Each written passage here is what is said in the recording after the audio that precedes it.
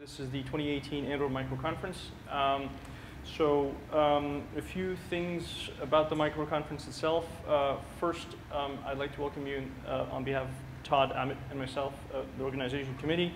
Um, this is uh, the yearly sync point where we get um, quite a number of people from the Google team um, to sync with the kernel development teams and whoever is interested in any of the Android work.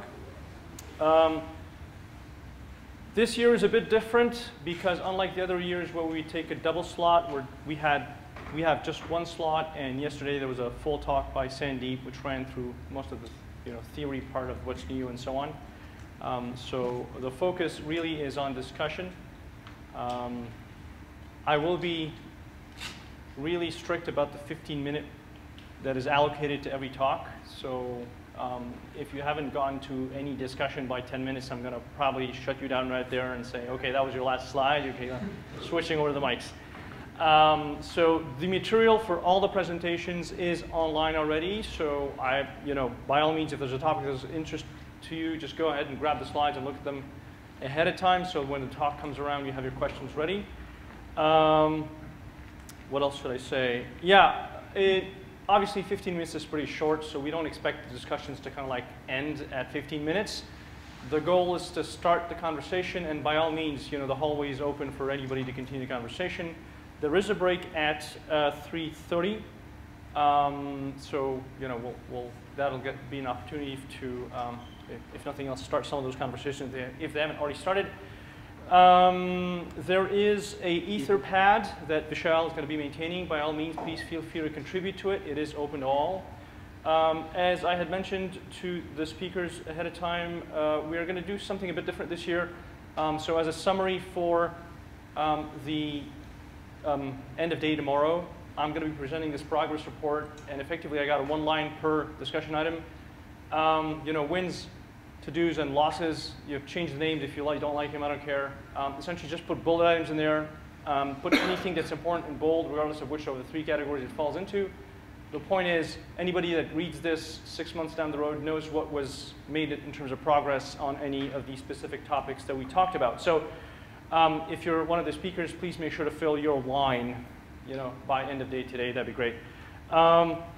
Cameras. Okay, so the rule I was told is speakers have to essentially be here leftward, not in front of the camera here. So anywhere from where I am to my left is good, all right?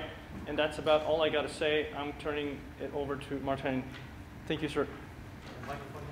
Uh, yes, the mic is right here. If you want mine, I can give it to you as well. Uh, I just have to find the power button. Here's my incompetence showing. Come on, how do I turn this guy on? Yeah, I'm thinking about twisting it, but no. How about this? right,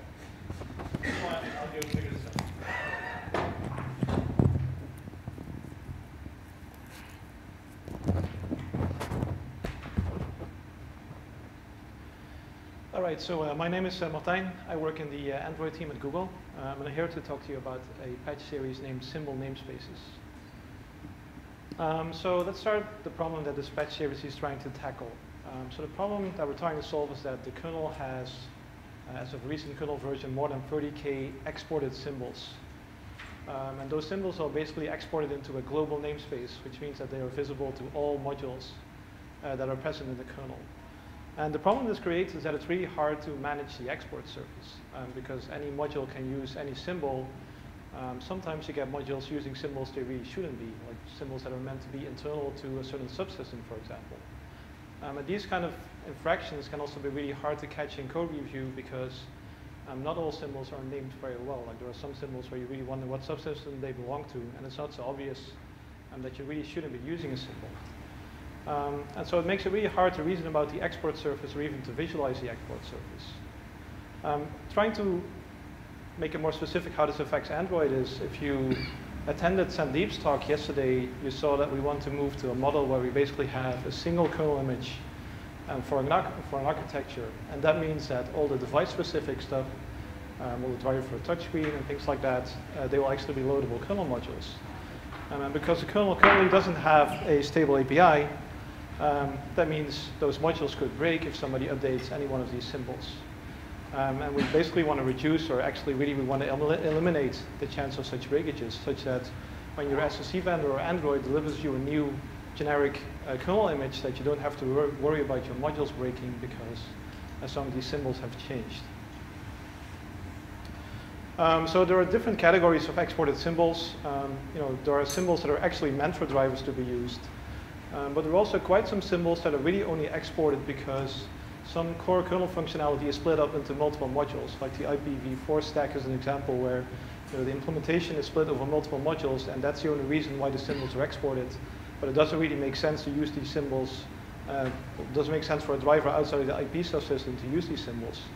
And some symbols are really only meant for internal entry use or for debugging.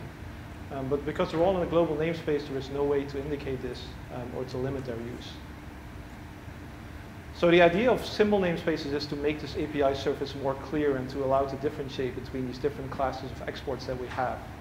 Um, but also to reduce the global API surface so that there's not this one big pool of symbols that people can uh, put into their drivers, but actually make it much more concise what symbols are meant for use and which aren't.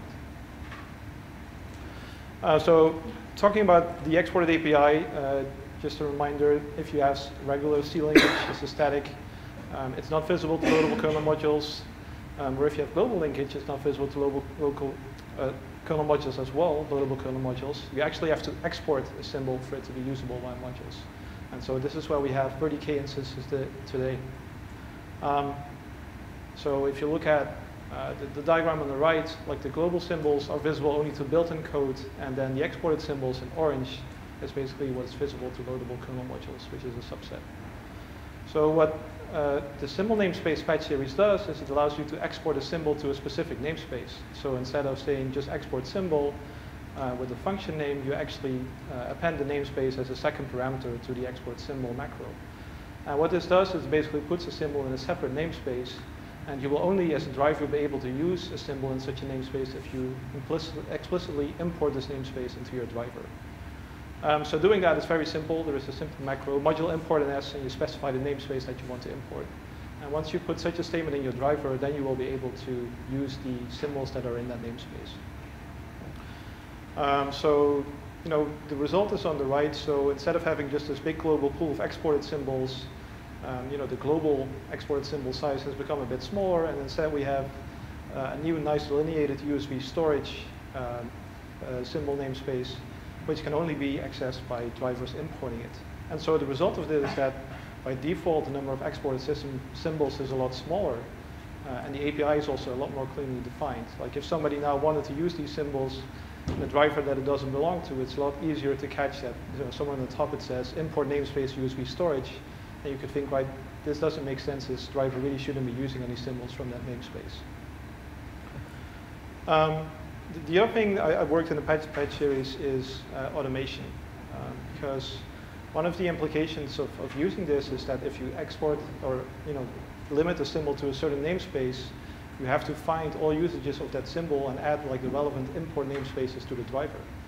Um, and that can be really annoying because you know it's hard to track down all usages of a symbol. So the patch set basically contains a script that automatically calculates dependencies um, of a driver to which namespaces it depends on, and it can actually auto-add them with a codegl script, which is basically the semantic patcher that the kernel already uses. So if you want to convert your subsystem to uh, use exported or to export symbols to a namespace, all you have to do is move it to a namespace, run the script, and the script will automatically patch all the drivers using that symbol to import the namespace itself. So it's really easy to use. Um, so the current upstream status, the patch set is really small, so it's around 300 lines of code, which includes uh, the automation that I just mentioned. Um, I sent the V1 series in July, and the feedback has been uh, positive. I think the, the high-level feedback so far, and not strictly related to the implementation itself, has been that it would be nice to auto-export uh, symbols based on the module name, so that you don't actually explicitly have to go into your uh, module and say export to this namespace, but say all symbols for this module go into this namespace. So that's just something to make it even easier to use. Uh, likewise, in auto import, like there may be some drivers that all live in the same directory, and they all need to import that namespace. So instead of manually adding like import statements uh, to each driver, you could also say, well, for all the drivers um, in this directory, you know, auto, auto import uh, that namespace. So the idea is to, uh, to collect some feedback here uh, and hopefully send out a V2 next week, um, and we'll see where it goes.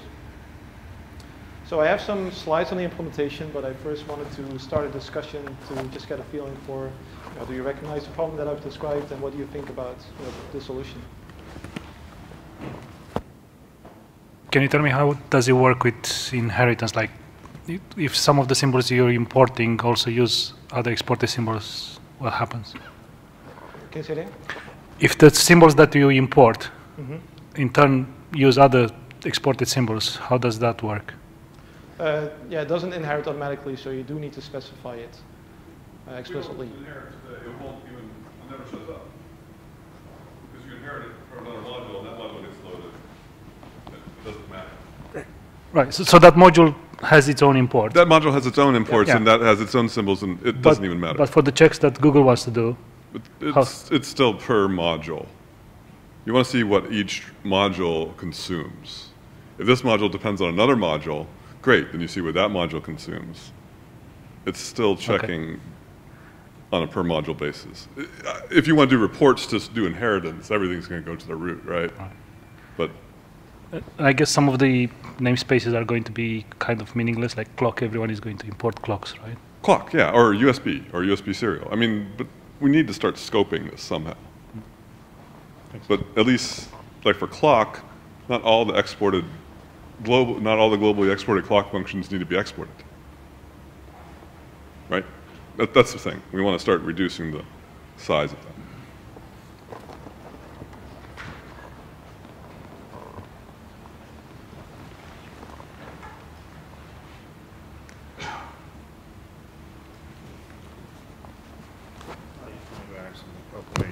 I was just going to say that uh, the nesting part can also be post-processed by an external tool, tool as well.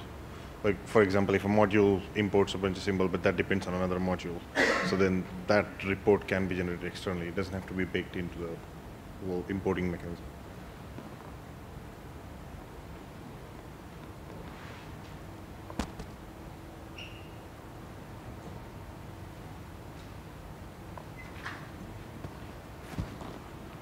Can you go back one slide?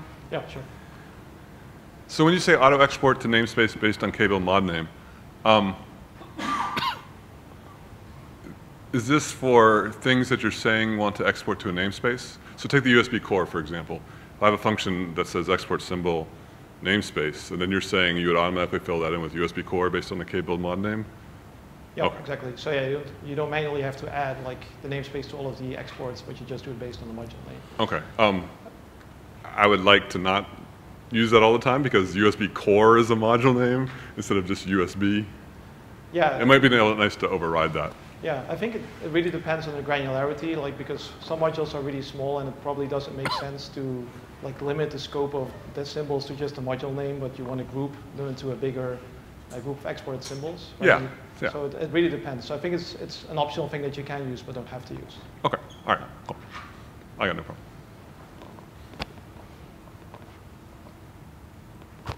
Are you, are you checking for violations only at uh, load time or at fill time? Uh, both, yeah. So the, the patches modify uh, mod post basically. So yeah, I can repeat the question. The question was whether I check for violations at load time or also build time. So the answer is both. Um, so the patches contain modifications to mod post that basically checks for each symbol to which namespace it is exported, um, or whether it's exported to a namespace at all, and then for all users of uh, that symbol, whether they import the relevant namespace. Um, there is some discussion about whether it should be a warning or an error. Um, if you fail to import, um, I'm more towards leaning an error at this point. And I think that, that has also been the upstream feedback so far. Like if we you know, can enforce this, the sooner the better.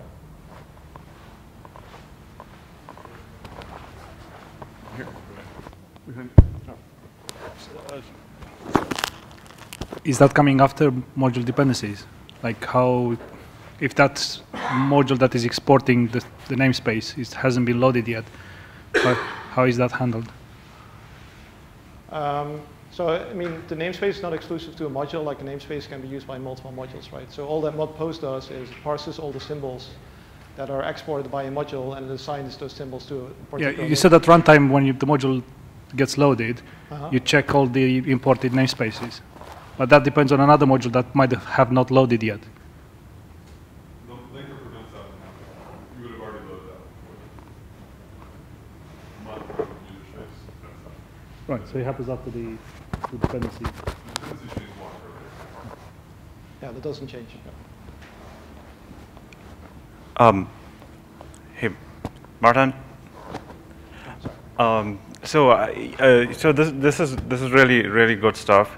I, I just had a side comment. Like, uh, one of the things about modules is, uh, you know, you can you can try to partition it like this, but you can't really control what is called into the kernel right after module is loaded. So, if somebody wanted to do, you know, do something like kallsyms lookup and get the function pointer, Yeah, and this is actually something that came up, is people would like to use this even for in-kernel stuff, right? So this mechanism allows you to enforce it across modules, but it would be nice if you could actually enforce it, you know, for in-kernel use too, uh, which is something I haven't really looked at, but it would be interesting to be able to do such a thing.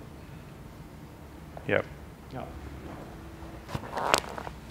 So I'm just curious, uh, in, in generating these patches, did you find many situations where there were, you know, drivers using, you know, symbols that they shouldn't be, or is there like examples of violations that were could be corrected or something like that?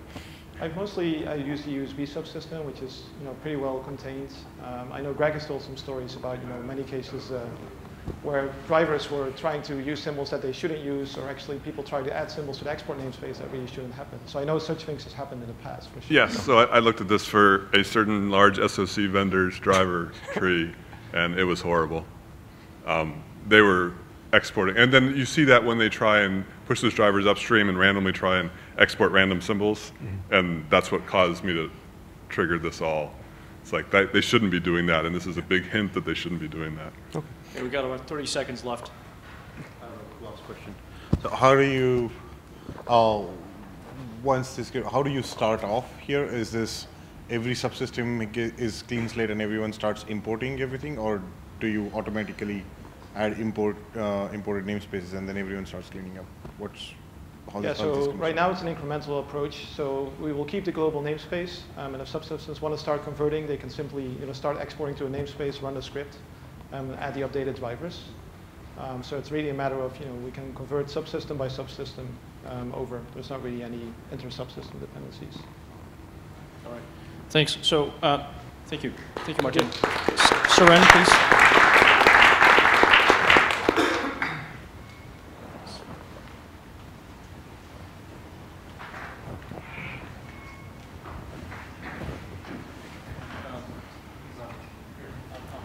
Okay. Uh, hello, uh, my name is Suren Baghdasaryan. I work for Google, and um, today I'll be presenting a PSI monitor for memory pressure detection. So, currently in uh, Android, we use uh, VM pressure signals to uh, detect memory pressure. However, um, VM pressure really measures reclaim efficiency rather than what we want to measure, which is how much uh, the user experience is affected by uh, memory contention.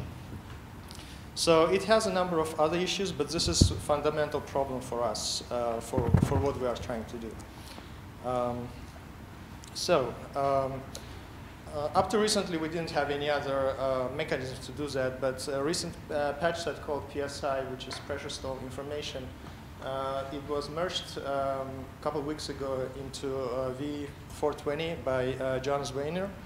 And uh, what it does, it uh, measures amount of time that tasks are delayed as a result of uh, resource contention. And resources in these cases can be memory, I/O, or CPU. So it records the complete delay or stall, um, the total stall time, uh, average, and calculates averages over 10, uh, 60, and 300 seconds. So PSI allows to um, uh, basically it records uh, complete and partial stalls, and I can talk a little bit more about what complete and partial stall means. Um, and um, it uh, considers in those calculations number of CPUs and number of non-idle tasks. Uh, the most important part for us is it uh, represents a much more uh, direct measure of how the user is affected by um, uh, memory contention. Uh, because it directly measures the delay time of the tasks. so uh, that's all great, but um, why we cannot use uh, vanilla PSI implementation on Android? So Android uh, usually runs on mobile systems, which have uh, quite limited amount of memory, relatively limited amount of memory. And our applications and services are quite often unpredictable, and they have unpredictable and aggressive uh, memory usage patterns.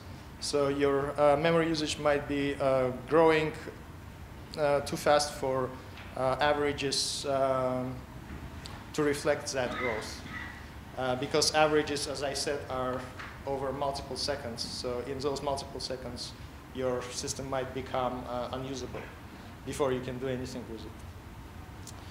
Um, so um, to deal with that, uh, we are working on a PSI monitor patch set. Uh, so it heavily utilizes already existing PSI machinery. Um, it, um, it monitors the PSI signal um, whenever a system enters a stall state, so normally it does, is not active, it activates only when there's a, a stall uh, being recorded. Um, the API is very similar to VM Pressure API, so you can use eventfds to uh, wait for the events from the user space.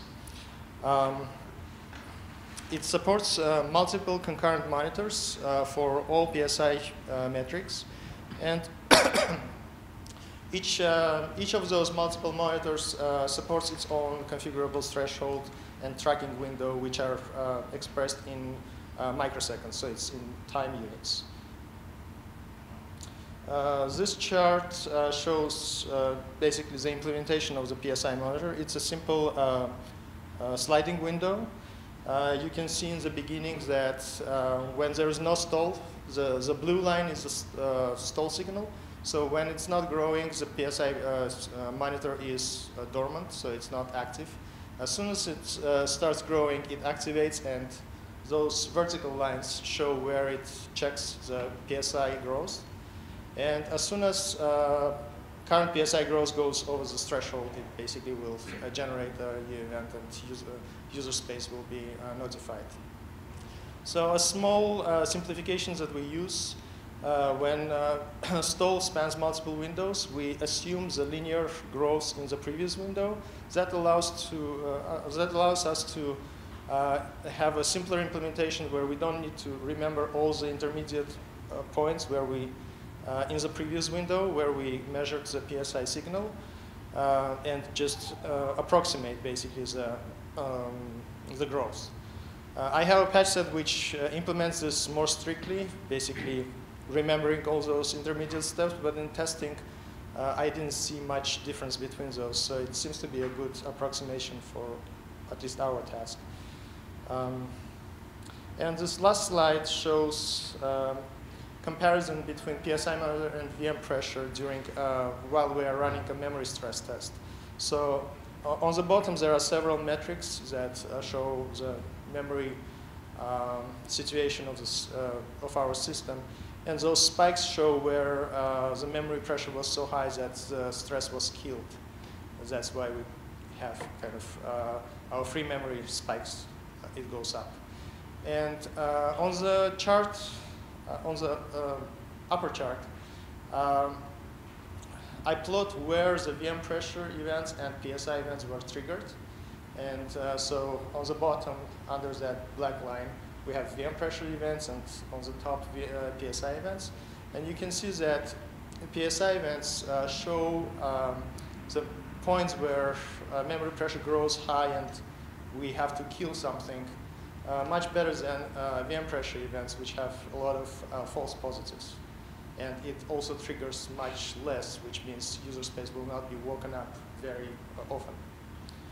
Um, so that's, yeah, that's pretty much it. So open it for discussion.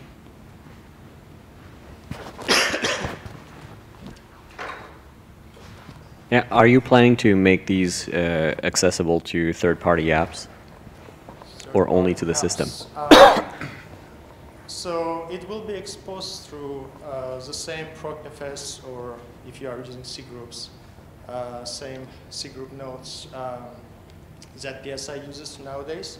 So um, I'm not sure yet if Android will uh, provide any API to um, use them. Uh, probably not directly because there's SE, ligands policies and all that good stuff. Uh, but uh, we probably will will provide something uh, to for applications to um, to have more visibility about system state. Uh, we definitely plan to use it in the uh, activity manager, for example, so that they are more or less. Uh, we, we, this what this allows us to do is basically to coordinate between different parts of, of the system. So activity manager can know when pressure is high, so I don't need to respawn uh, a process that was killed by low memory killer just a second ago. So uh, those kind of APIs, uh, they are possible with this patch. Um, as for what that API will be, uh, will look uh, like, um, it's a little bit early to, to, say, to tell. Um, okay, thank you.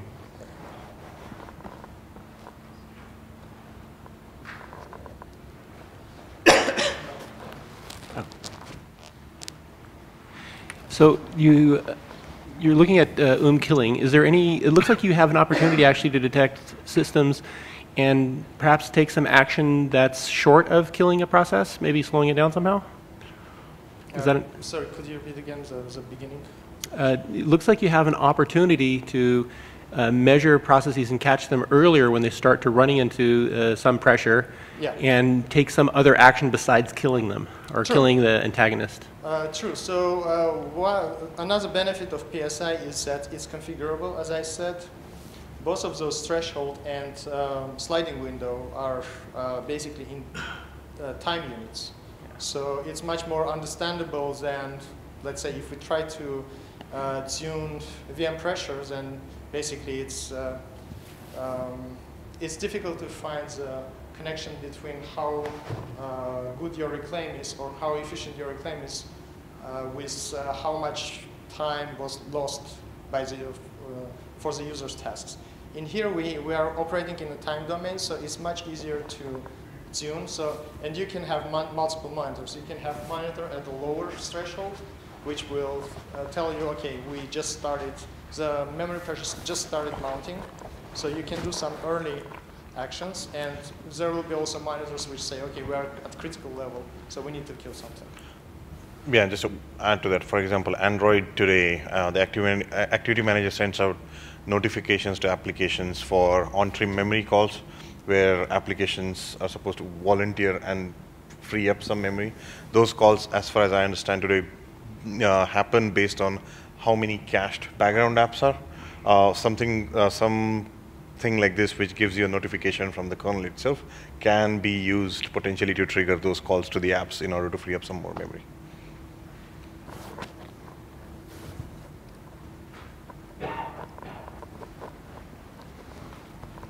There you go. We got four minutes. I know uh, there were some previous efforts to kind of move the uh, low memory killer out to user space that weren't, I guess, as successful as the in-kernel uh, implementation. Um, how is this implementation doing relative? I mean, is, is there any sort of metrics of better or worse? Uh, compared to uh, kernel module, compared to the current uh, user space LMK, or Yeah. Um, so this test was, I specifically, this particular test, I ran with in-kernel LMK because most of the Android devices still use in-kernel LMK. So when, whenever those tasks, uh, this task is killed, it's uh, in-kernel LMK is killing. I want to make sure that, you know, the, the switch to user space does not skew the results. Um, so the issue, of course, it's difficult to compete with in-kernel LMK because it's inside the kernel. You don't have to send to user space any signals and then send SIGKILL back to kernel. So the round trip is much shorter. But there are also um, downsides of that. Uh, the biggest downside is, is that coordination between LMK in kernel and your system, which is in user space. Um, so up to now, basically, LMK was doing its own thing without coordinating anything with anybody. So this gives us an opportunity to actually coordinate in user space different parts of the system. So as I said, for example, if something is killed, the other part of the system does not try to respawn it. Um, so there, are there is upside of having it in user, user space, and we, we think that it's worth doing this, even though we take some hit on the performance because you cannot get around the fact that you need, you know, additional latency. You introduce additional latency by having uh, those mechanisms inside the user space. Okay, thanks. So just uh, extending that question, um, so in terms of the latency for um, you know for the round trip, uh, since this is getting handled in user space, you know, do you have some stats and whether can it keep up uh, with uh, you know uh, certain spikes of memory pressure where um, as part of direct reclaim you really need the kills to have occurred really fast? Yeah, I was. Yeah, the, the latency we were measuring when we uh, were moving to user space LMK. Uh, I did uh, collect a lot of stats about the latency of receiving the signal from the kernel and then sending kill. I have a number of patches in the kernel which improves that path also. Uh, some, um, some drivers actually were delaying kill, for example. Um, it's, um, if I remember correctly, it was in the beginning of the year. Uh, the delays are uh, somewhere around uh, tens of mil uh, milliseconds in the, in the case of memory contention. Does the user space module kind of wait for the to see the impact of a kill before it decides to do anything else uh, in terms of other signals that it might receive subsequently? Um, you are talking about that those fixes for for drivers or? Uh, no, just the the fact that you know once the kill is initiated, you know, the the impact of the kill, you know, the memory that gets reclaimed as part of that, you know, does it take the complete? Okay, so the question is how how fast the reclaim uh, the killed processes memory is reclaimed, or is is that the question? Or? Yeah, like user space accounting for the entire memory that got released as part of the kill um, before it acts on the subsequent uh, triggers. Okay, I'm going to suggest this continues on because okay, yeah. I got to switch to the next yeah, talk. we can right? talk uh, offline. Thank you. Thank you. Thanks. Thanks, friend.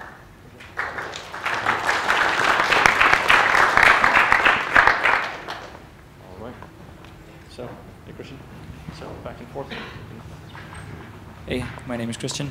Um, I want to talk about dynamically allocated binder devices. So, uh, we've recently uh, been starting, I think there's a patch set also now floating around on LKML. Um, we've been discussing using binder devices in different IPC namespaces, specifically in, in, in so in containers.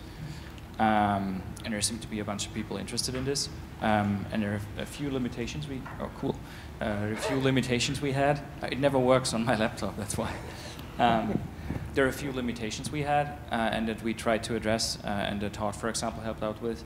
Uh, so first of all, uh, binder is not available as a kernel module, and uh, there's a bunch of distributions that really don't want to set config uh, binder to yes by default. They'd much rather have it be loadable as a module. So we had a patch set um, for that, or originally, but there were a bunch of problems that actually relate to export symbol. Uh, because Binder was using uh, functions that uh, Viro really didn't like that were used in the Binder uh, driver. Uh, so these have been removed, um, but it's still outstanding, making it possible to set, yeah, say basically that Binder is available as a kernel module. That would be helpful.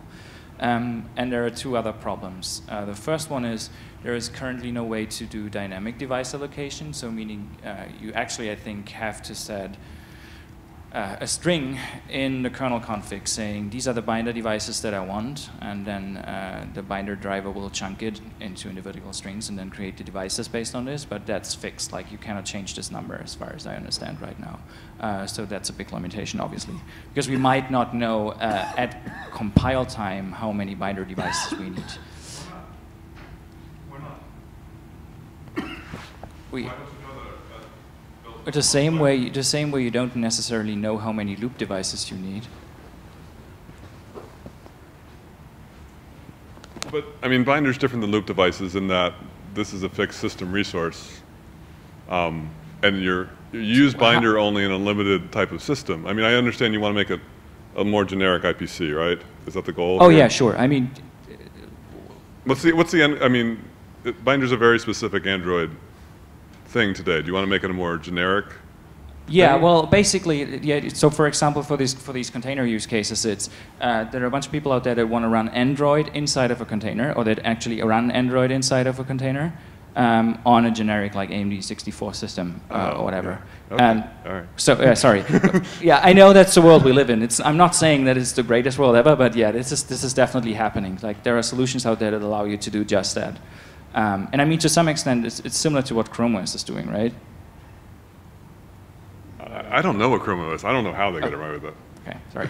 so, uh, and the third and the third part is essentially that uh, uh, you have no per, per IPC name. So you have no. There basically all of those uh, IPC devices that you can use always belong to to the initial IPC namespace, um, which is different from other IPC mechanisms. For example, another example is def MQ, MQ essentially and def uh, ShamM. Uh, they both are mountable per IPC namespace, so they're separate file systems, um, and they have a different IPC namespace attached to the devices. So that's the whole idea. So this is the problem space, and I think I need to hurry up a little. Um, so basically, there is uh, three. There are two solutions, I'd say roughly. Uh, so the first one is the patch set that we're seeing right now. Um, it's you attach in a new IPC namespace and open. So imagine you handing off a binder device to a process that runs in a different IPC namespace. You call open on it, and then a new IPC namespace gets attached to it. Uh, which sounds reasonable as a first approach. The problem is that this is unprecedented in, in the kernel as far as I know. There is nothing inside the kernel that changes namespace. Based on open, and I've just come up with a weird exploit, but basically there is one right here. If you send a binder FD into a, different namespace, IPC namespace, and you reopen it through procpit FD binder, you're now switching the namespace, as, at least in the current implementation. Yeah, exactly, and that's like, I, I, I really don't want this. Um, uh, the th second one is uh, this is related to the dynamic binder allocation problem. You could do it similar to what uh, you do with loop control. You call an open on a loop control, like what Kay did back in the days. You call an open on uh, binder loop control and you dynamically allocate a new binder device. And then you can use UDEV to rename the binder device to whatever you want, uh, basically. Um, and I think one solution that I would like, and I would like to hear input on this, is if you sort of do it like uh, MQ and def shadmem. You do a binder FS essentially. It's mountable in different IPC namespaces.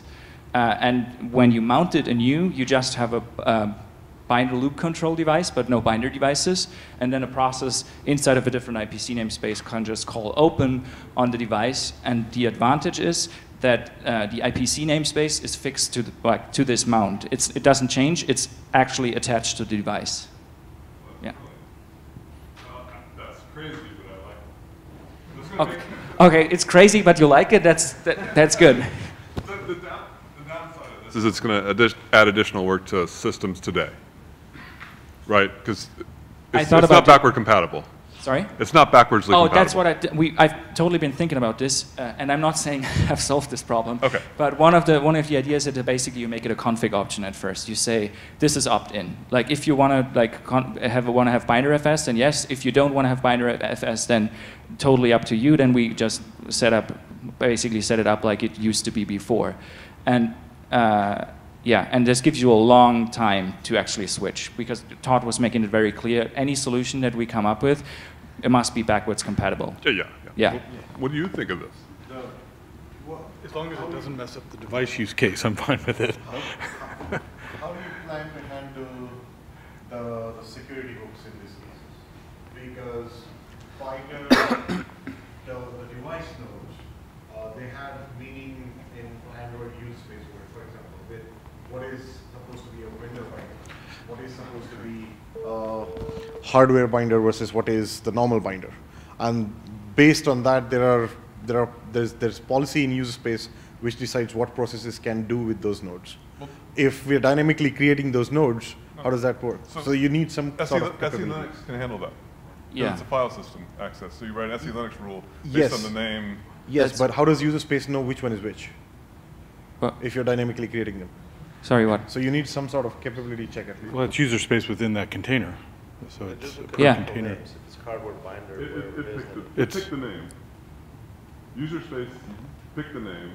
In the binder control. In that, con- Yeah. yeah. Thanks. Oh, and by the way, I have really shitty ears. I'm sorry, so you need to speak loud.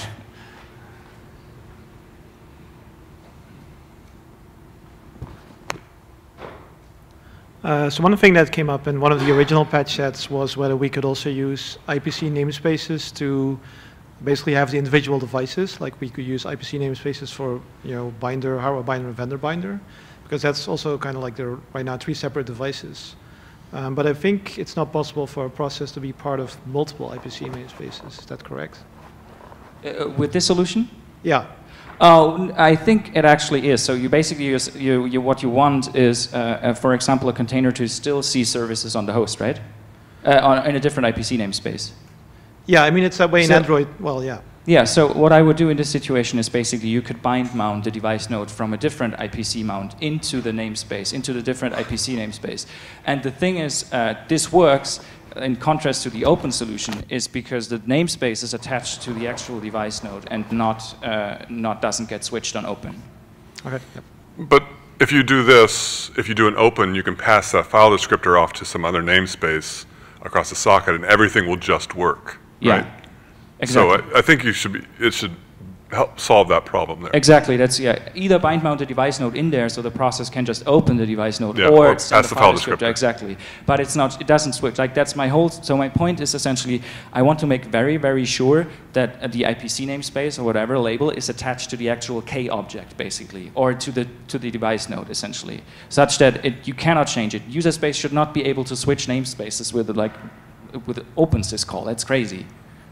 So will this solve your issue of containers? Of you'll only mount Definitely. this per container? Yeah. A new one? And then, but you're not, it's not an IPC namespace, it's a, it's a mount namespace. Uh, it's well, it's it's mountable per IPC namespace.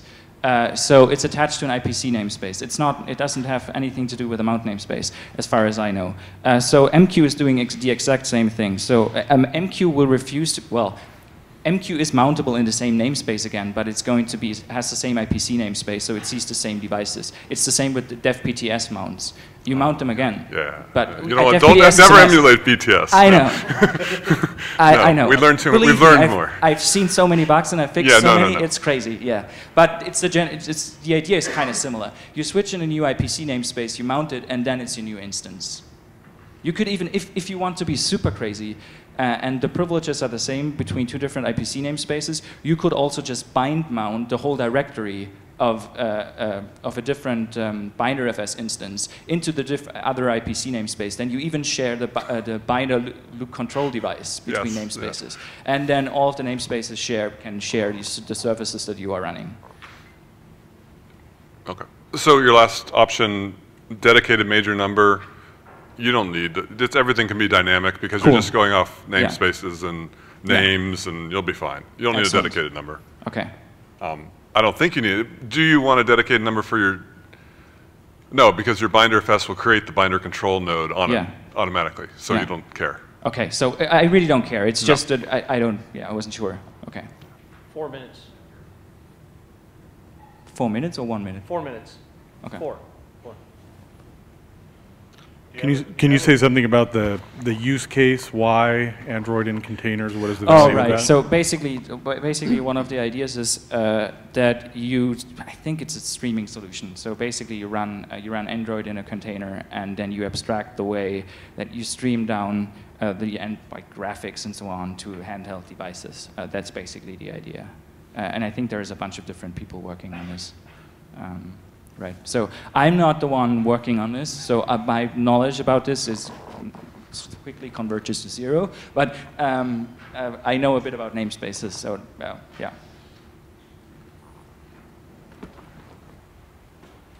So there are commercial solutions out there actually using this kind of thing. Uh, Hatch runs a, a game server um, on Qualcomm ARM servers. Uh, Huawei is actually running a similar thing now. How do they do it? How do they petition it now? How do they handle this? There's a set of patches that uh, aren't going to ever go upstream. Can we build on them? I think this is a much better way. Yeah, so it's um, I work on Web Christian. Um, there's only so, many, so much detail we can give publicly, but we are working with those different companies. I couldn't even With- if I with- wanted to, to be honest. we like we, we do have very very similar use cases, and we've been working with some of those. Um, similar thing, we like use Qualcomm servers, and we run 200 Android containers on those machines. Uh, each of them having two binder devices. What we do right now is we actually use the uh, binder devices option uh, on the kernel command line to create, I think, about 250 or whatever devices hard-coded. And then the container manager will bind mount those as dev binder in the different containers.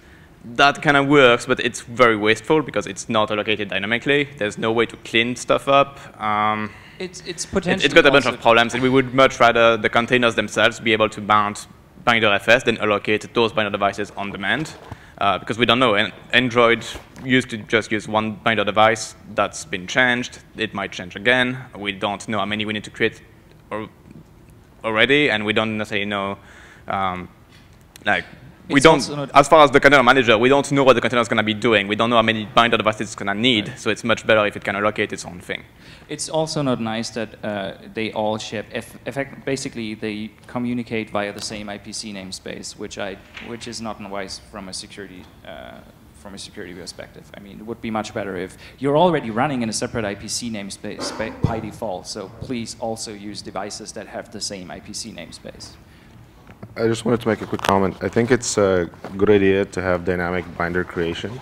I think that's a good idea by itself, uh, as, assuming we can solve whatever problems arise from that. But I wanted to make this statement. Uh, from the point of view of Android security, uh, containers are not security boundaries. They're just accounting boundaries. So um, whoever's trying to run Android in containers, that can never be compliant as far as our tests are concerned. So just be aware of that. Uh, I, I, I, as I said, I cannot say anything to the use case. I'm probably pretty sure that these people that actually do this don't care about this. Uh, That may be so. Sorry. 15 seconds. Uh, yeah, exactly. One, secu- one, two. Well, you can have some security boundaries with user namespaces, but that gets you. Yeah, I know what you're saying. Cheers. All right. Thank you very much.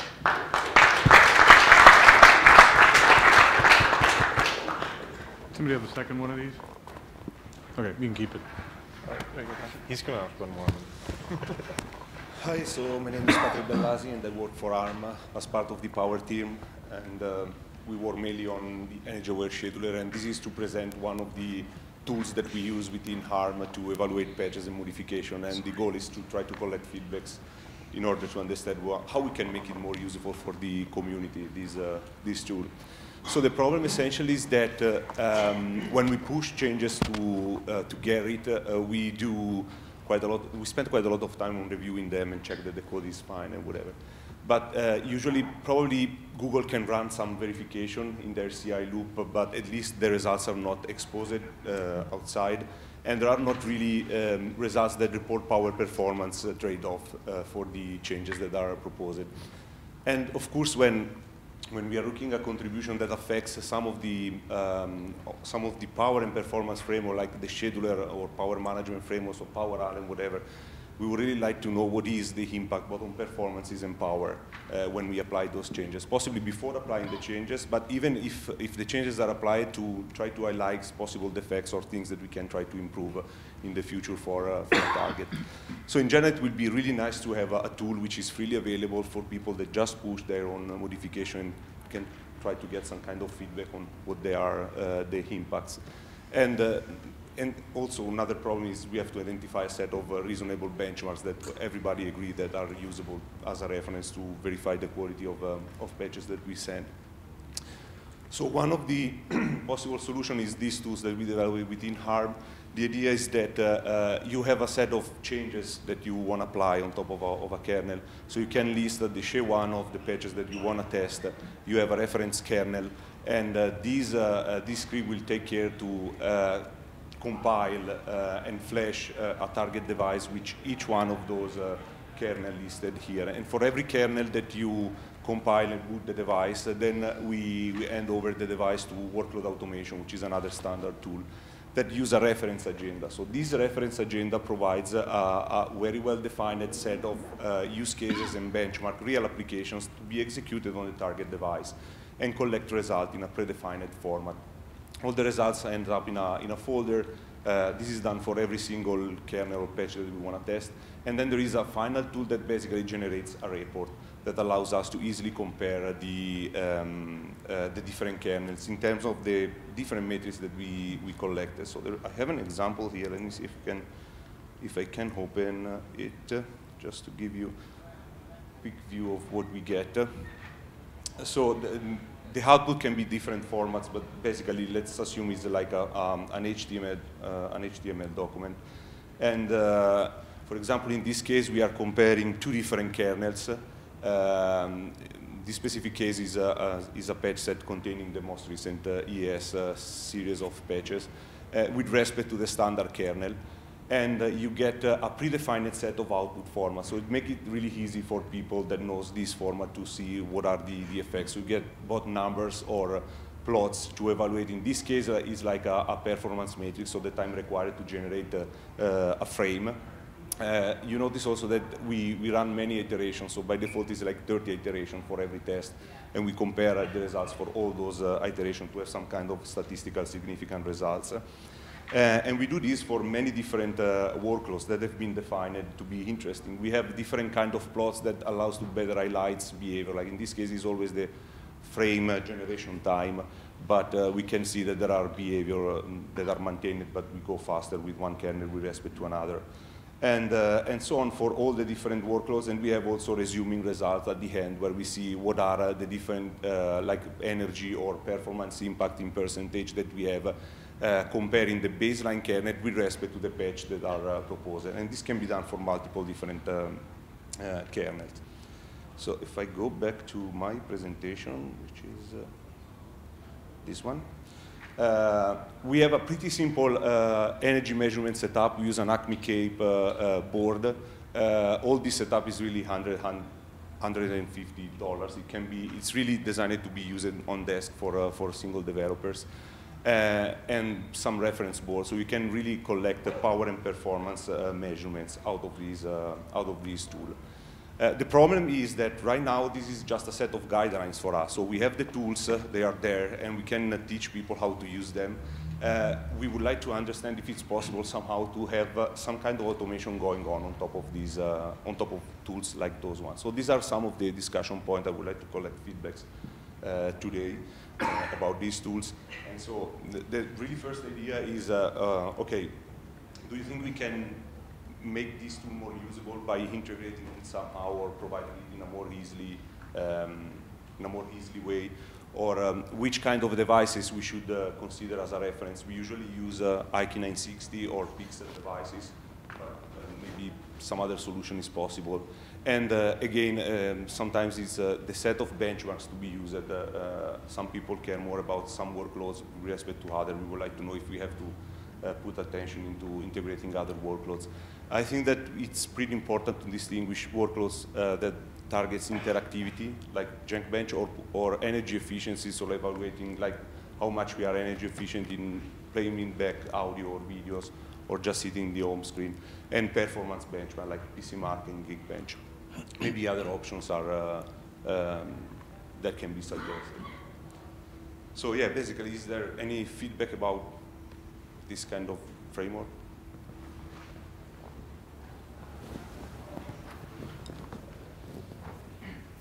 So we are using part of this solution in our power management working group. So not the compilation and the, we are using mainly so the workload automation and the, and the agenda to make some power consumption measurement and the Lisa post processing. But all the previous part we are using our CI loop and so on.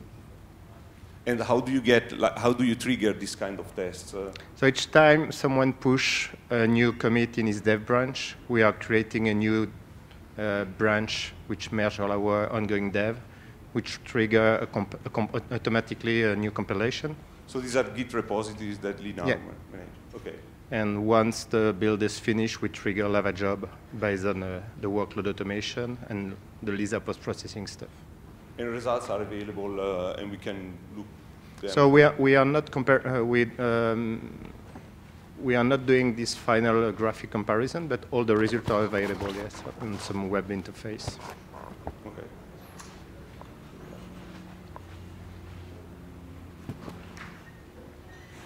Yeah, I guess uh, just some feedback would be, um, do you measure like different power states too? Like for example, like suspend? Because I s on, the, on the next slide I saw really just like benchmarks. Yeah, so the idea is to run like black box tests using real application like Geekbench and uh, or PCMark whatever, and we measured at the battery power uh, level. So we measure the overall system energy consumption for a, for a device. We don't really care. We have other kind of tests that digs down into the details of different contribution, but in this specific case for this tool, what we want to see is that in the main domains of interactive workloads, uh, energy efficient workloads and performance workloads, we don't have regressions or notable difference. But So I, I guess these are all just active workloads and nothing like, you know, your bottom power of suspend, basically in your screen off mode, suspend. With workload automation, you have some use case which, i- which is called the idle use case, where you can set screen off or screen on, for example. And there is no support for suspend to RAM, for example, yet, but we are looking at that. So do you think it can be interesting to have more detailed energy measurement? Because sometimes the, the concern from people is that they don't want to see uh, real energy measurements from a target board, especially if you post a, a contribution on Gerrit mm, where you, were- you tested on one specific device, maybe an internal device. You don't want to disclose real numbers. That's actually one of the concerns that we collected so far. So the idea to keep anonymized results where that's one of the concerns sometimes. How difficult is it to integrate new devices or new workloads? Yeah, that's yeah, that's a good point. So we have a, a, a kind of an abstraction where you have to provide uh, basically at this level you have to provide few scripts, uh, bash scripts that uh, tells exactly how to build an image for one specific device, and provided you have the compilation products for for that device, how to flash them on that device by rebooting the device. It's just a bash script, so the abstraction is there. I mean, the engine is just calling these scripts, and provided you know how to script in bash uh, flashing of a device, it should be reasonably simple. Um, so one question, I, I, this all looks really cool. Um, in some of the work that I've done with workload automation, one of the gotchas I see is quite often the tests aren't really publicly available. Um, so things like Geekbench isn't something that you can just easily find, and you know. Um, It's in is- OSP now. Oh, okay, that's good. Um, so yeah, but I was trying to see. I know Steve Muckle a couple years back had gone through some efforts trying to create kind of a more open set of tests. Has there been any effort to try to do that as well? Uh, I think he is exactly working on the same direction. Is uh, these things has evolved across time and is now what it is right now. But actually, we are reusing pieces that was already there. We are actually using workload automation with all the things that he provides. The only thing is that like we want to try to standardize things, like define which workloads you have uh, potentially to run and provide results in a standardized form in such a way that everybody that knows more or less this language, let's say, can easily see if a patch give some kind of benefit or not uh, in terms of power performance. It's just reproducing them if you don't have access to those benchmarks is the concern, I guess. And maybe that's Yeah. not a big issue for most vendors. Yeah, well, in principle, it would be nice if you can just post uh, things on Gerrit and somehow within Google a machine, or uh, maybe the Linaro approach is also working. Uh, just transparently, there is a set of predefined devices where you can collect power performance results, and you know you have the report there. You don't have to install anything at that point. Four minutes.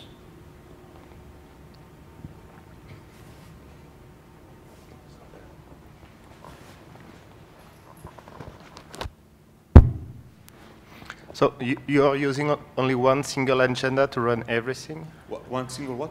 You, you have one agenda where you are Yeah. running all the tests. Uh, yeah, so there is one uh, reference agenda that we use for scheduler-related things, uh, but potentially you can use whatever you want. Uh, um, so it's one boot and you're running uh, all the tests in one single sequence. Have you think about rebooting the board? Because we have discovered some in interaction. I mean, if you're running, for example, some Vellamo test and with some Jankbench on idle or idle test, you can see some impact of the Vellamo test in the idle and Jankbench results. So yeah. maybe that would be good to be able to reboot between each single. Yeah, that's an option of WA. Uh, I'm not actually sure if we have this option set or not, Yeah. if we reboot every time. I don't think we reboot, at least not between the iteration of the same test, maybe between different tests there is a reboot, but is eventually one option to be added on top of that. Uh, and actually, yeah, the good point is that in general, testing patches is always, if everybody comes up with its own recipe, you have to spend time trying to understand how to fix things and make them Yeah. working. If there should be something that is a kind of solution available somewhere, you can just push patches and see the comparison. That would be really very, very useful.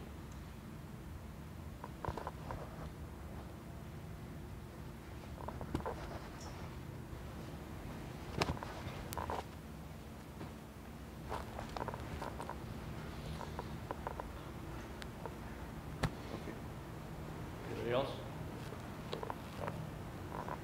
All right. Thank you, Patrick. All right.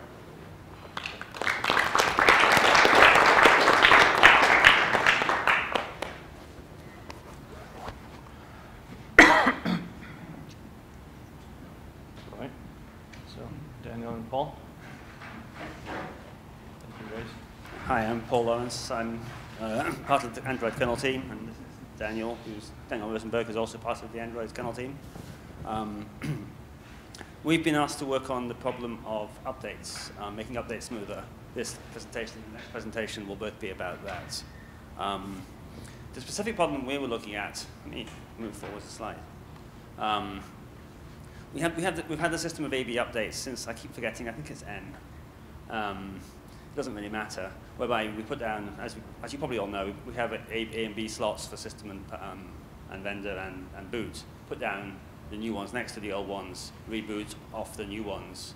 Um, and if we get all the way through boot complete, we mark the new slot as, as good, and then we can boot off the new slot from then on. And if it fails three times, typically, three times always, three times normally, then we um, roll back and go back to the old one. And that works pretty well, but the problem is once the new partitions start modifying user data, um, and then we will, and if, if there's a crash after that point and we roll back, we're using the old system vendor boot image with the new user data, or at least with a halfway house new user data, which is probably even slightly worse. Um, and that is not a supported situation. There's no reason why it should work. Um, so um, basically, we need some form of way of rolling back user data. I mean, clearly, AB user data makes no sense at all. That would be stupid. But, um, so what's needed is some form of checkpointing. And by the way, we tend to use checkpointing and snapshots interchangeably. Forgive us for that. Um, they, mean the same thing as far as we're concerned. Okay. Um, so there are two basic approaches to this problem. Um, if, if the file system supports, if the file system you have on user data supports checkpoints or snapshots, then you're pretty much home and dry. There's a few, at least from a kernel point of view, there's some um, API issues, but that's not actually our department. Um, so the trouble is none of the file systems we tend to use on user data actually support checkpoints, or did support checkpoints. But first, here's Daniel to talk about how we fixed that.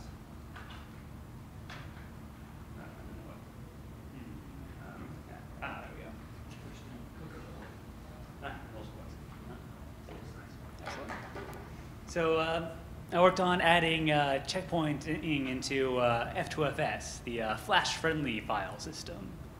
So um, for those of you that aren't too familiar with the internal structures, I put a uh, little diagram of uh, the basic on-disk structure.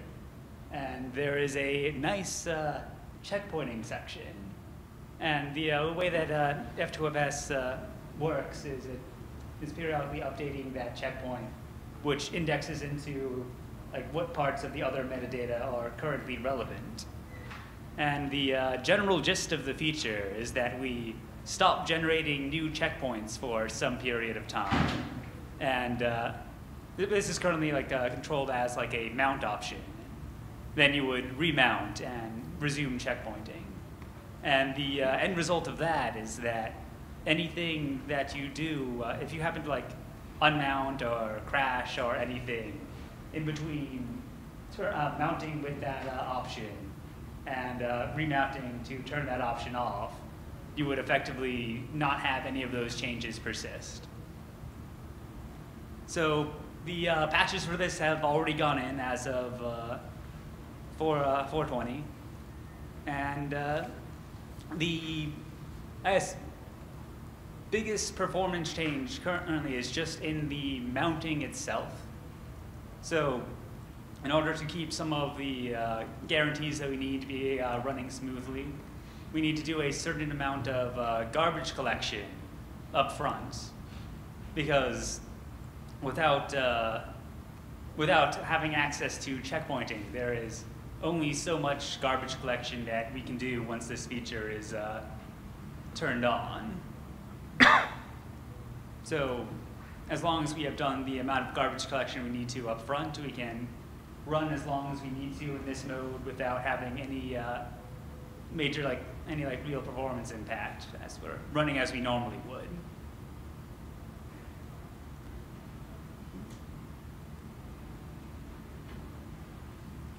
So yes, uh, any uh, questions about that part?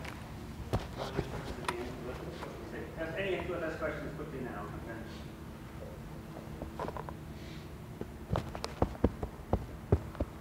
All right.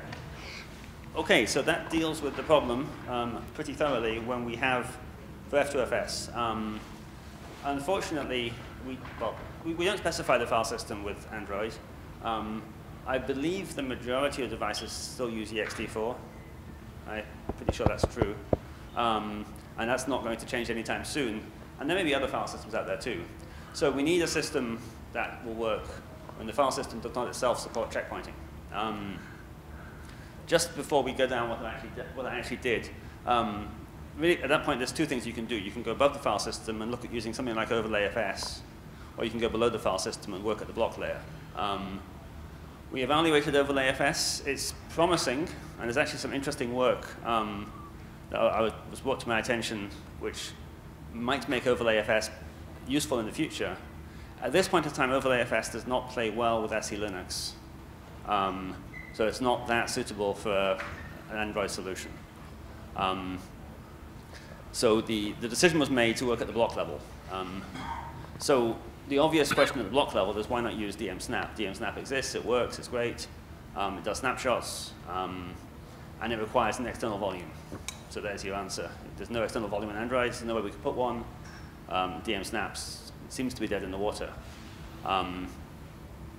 But we were thinking about this, and we realized that if we knew where the empty space was on, the unused space was on user data, we could find some way of using that to store the snapshots. Um, so what we did was we came up with a, a new driver, which I'm calling DM Bow. Name is provisional. Bow stands for backup on write. Um, uh, oh, oh, sorry, there was one thing I wanted to bring up. When, when I tried to upstream DM Bow, I got some suggestions from the, the DM Snap maintainers. Um, one of the ideas they had was to create a file on user data um, before you reboot. I think, actually, no, before you start snapshotting, and then extract the using FIEMAP to extract the blocks from that, the, location of blocks in that file. Um, and then, use, and then use DM Linear to use that device, that, that file as a device, which you could then access below the file system as a storage for your DM Snap. Um, that, would, that would work, I'm, I'm, confident it would work, but it would only give you half the available space for storage because, because, it, because that's what it would do. You're backing up to it, you've lost half the space. Um, so um, I don't think that works for us. Spaces, we, freeing up more user data to take an update is not, not a good idea on Android. You can only want to free up as much as, little as we have to. Um, so I, I, the idea was we dynamically detect. Uh, so I developed this device whose idea is use the free blocks on the, on the driver as the storage space. So first of all, we need to identify the free blocks, which we do by um, running a trim on the file system, which issues trims through the DM layer, which we, which we capture. Um, and then we basically, all future writes, we look at what they're writing over. If it's original data, we make sure we back it up into one of those free, free blocks. Um, and then, of course, we keep a log of that so that when we, if we want to roll back, we can. This means that the, the, the, forward path is, is very clean. We've only written over the three areas, so if we want to go forwards, we simply, we simply stop doing it, basically. We simply stop writing anything else down. Um, and given that's the 99% case, i.e. update works, that should be all we have to do. Um, but it's possible from the log and the blocks in the free data to roll back after a reboot if you have to. Um, it's efficient. It uses all the space available. No, no problems there. Um, and it's, it works. So that's what we're trying to do. Um, questions?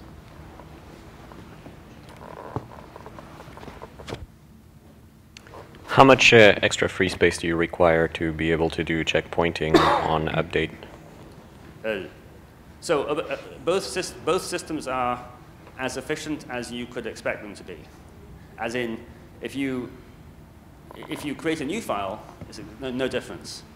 If you overwrite 100 megabytes of a file, we have to keep a copy of the original data, either with Daniel or my solution. So it's 100 megabytes of space needed for that operation. So basically, overwrites is one for one, um, new files free. Okay, and like if I change like one byte, would I would I be basically like saving a page or a block, or what? What's the granularity? For, for the block solution, oddly enough, it's a block. Um, uh, so I believe it would be like um, probably around page size. It would just be like uh, it would be pretty much the way that. Uh, F2FS would be working uh, normally. So you know, we end up uh, a lot of the times with uh, F2FS, it tries to group all the uh, writes together. So things can end up moving as you go. So all of that continue working, continues to work as it would be, apart from it not being allowed to write to the blocks that it needs for the previous checkpoint. Okay.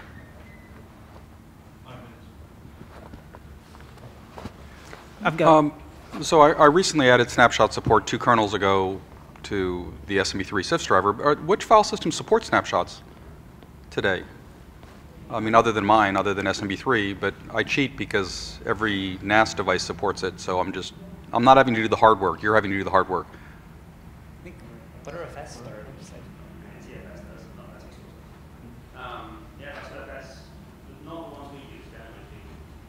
Yeah, so I guess kind of when I'm stepping out 10,000 feet, I, there's no infrastructure like there is in every other operating system to like open a previous version, right? There's like open flags to open previous versions in every other operating system. So what I do is on mount, I have a parm that says snapshot and a timestamp, and it's really ugly because you got to know the timestamp. But is there any infrastructure like a tool, a user space thing I should plug into? Because then ButterFS and SMB and whoever, whatever you do, would have the same tool, so you didn't have to remember weird file system specific stuff.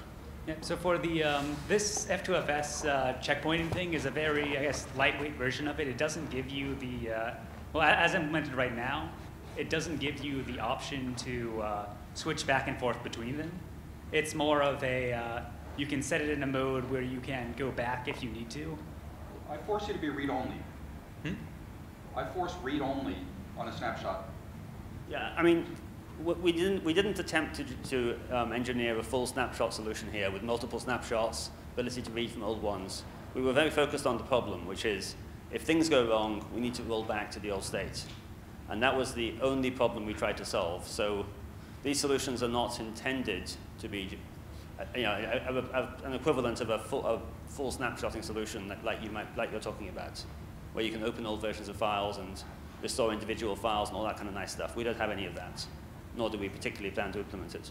Because our problem is rather, it's very focused, which is rolling the whole thing back in one fell swoop um, when things go wrong. Well, I, I was just going to add to it. I, I think uh, basically the is basically the snapshot. Sandeep, uh, the snapshot is exactly one version old and never more than that. And the reason for that is because we always wanted the ability to automatically roll back if something goes wrong. So nothing has to intervene and do anything to the file system because the biggest use case is if, is if update is wrong, we don't want to leave the user data with the wrong update. We want to we want it to roll back automatically.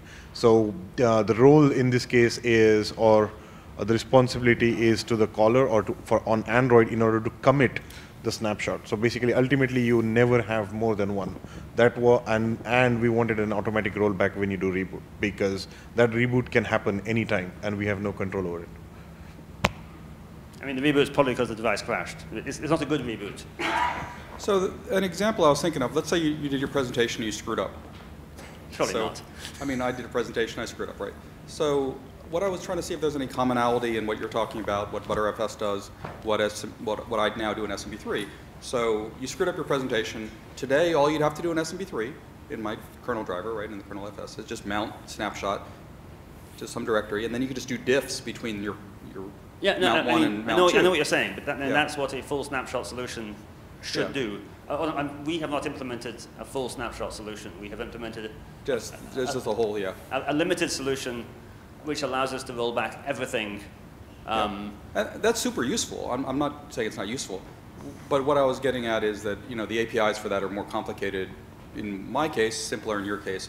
But um, I could do that too, by the way, if it helps. But, sure you could.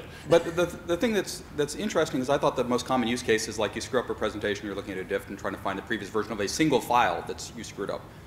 Um, does, so ButterFS is the only guy, XFS, you know, in the, in the old DMAPI days, there's no, there's no other file system other than BTRFS uh, that today would allow you to do something vaguely similar. So there's no user space tools. I'm not aware of. I think there's ZFS.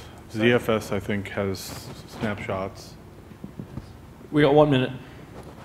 So he's I've been got- waiting patiently. Yeah, I've got a quick question on the DM snap. Uh, were you able to set it up in the lab? Because uh, when I tried to test DM snap, and I was trying to snapshot uh, ext4 block device, mounted block device, and uh, it looks like DM snap tries to uh, lock the device exclusively. So I was not able to snapshot mounted uh, ext4 block device. So I had to unmount it and then uh, use another block device. That's true. Uh, and then, then I was able to snapshot and use the DM snap to do a snapshot. So uh, my question is, uh, does DM snap can actually snapshot a mounted uh, No, partition? I mean, DM That's- Snap creates a second device, and then, well, actually, two more devices, and then you mount, on, mount those devices. DM Snap does do Yeah, what we it- need. The problem we had is that DM Snap requires an extra device, which we don't have, Yeah. and I think we're being turfed off. 15 seconds, okay. Yeah. The file system thinks it writes exactly the same block. You go. A DM snap is, is, is an, has its own LVM. It, The file system thinks it writes exactly the same block, and DM snap says, no, you're actually writing to another block. That, that was the problem. That was, uh, yeah. All right. So it exclusively owns the, Exactly. That's, that's the problem. So I'll let you guys continue this afterwards. Thank you guys. All right. Thanks.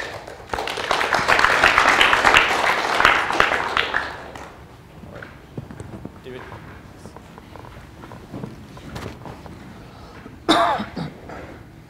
My name's uh, David Anderson. I work at Google on the Android team. Uh, so one of Android's big updatability problems is that after a few years, we start to run out of space to update devices. Um, so normally devices uh, have over-provisioned partitions, and they're all, um, most of Android, unlike a desktop operating system, resides in read-only partitions. So in this sample device here with this partition table, uh, the system partition has been allocated at 2 gigs. But maybe uh, the initial image on it is only 1.5. And the manufacturer doing that, let's say they want three years of updates, they have to hope that that extra 500 uh, megs of slack is enough for those three years. And unfortunately, these partitions run out of space at different rates. So almost always, at least on Pixel, system runs out of space long before vendor does. Uh, so let's say after three years, uh, system is completely full, and uh, this vendor partition has 200 megs free. Uh, we can't actually take that space from vendor to use for system, and that's because each partition is signed and verified, and they may be signed by different providers or vendors. So an obvious uh, solution to this is why not just rewrite the GPT? If you're not familiar, GPT is the GUID partition table, and it's the fixed partition layout uh, used on most modern devices and, and, desktops. And there are already tools for this, like gparted, that can uh, resize and move partitions and, and uh, write a new GPT. Uh, there's two reasons we don't want to do this. One is that Android doesn't specify a partitioning system. Even though GPT is super popular, uh, we don't require that devices use it. And second is that it's just inherently risky. Uh, we don't want to risk user data becoming completely inaccessible due to an over-the-air update. So our solution for this uh, was to use Device Mapper.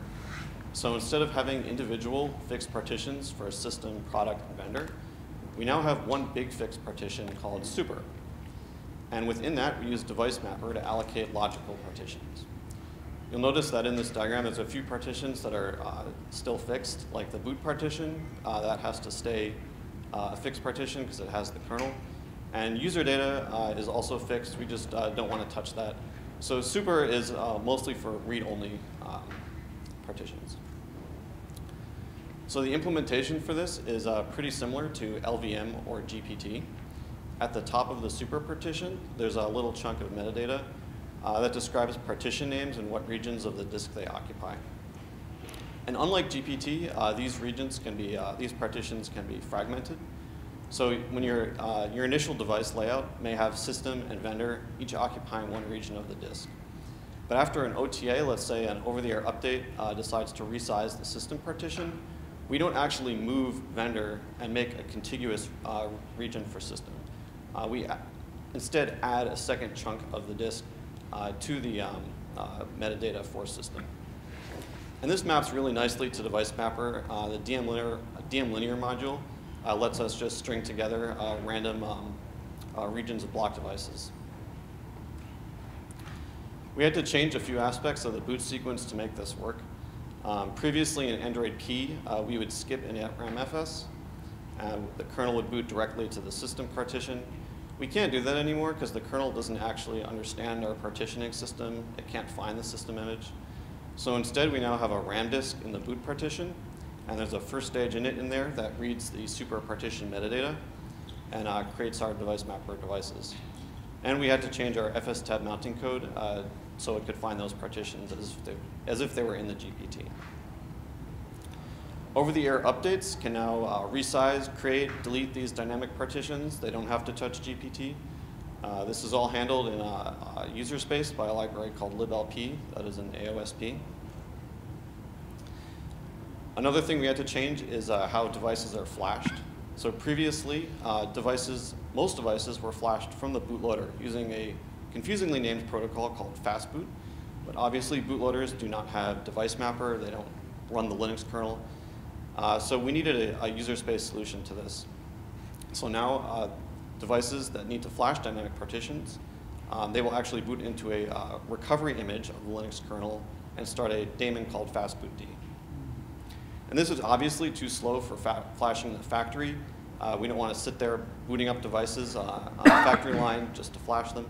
Uh, so we can also pre-generate an image of the super partition. Uh, we found Device Mapper was super flexible. Uh, we had already been using DM Verity. It uh, just stacked on top of uh, our new logical partitions. That continued to work. Uh, we also found we can retrofit older devices. Um, so even if a device doesn't have a super partition, it doesn't really matter because DM Linear lets us stitch any device into a, a logical partition.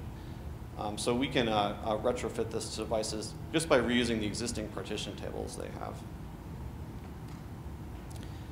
We also did some performance measurement. We found there's uh, no measurable performance impact up to hundreds of extents in a partition. Uh, we did see uh, a measurable overhead once we got into thousands and tens of thousands. We're not expecting that to be a problem. Android has uh, one security update a month and one major dessert release a year.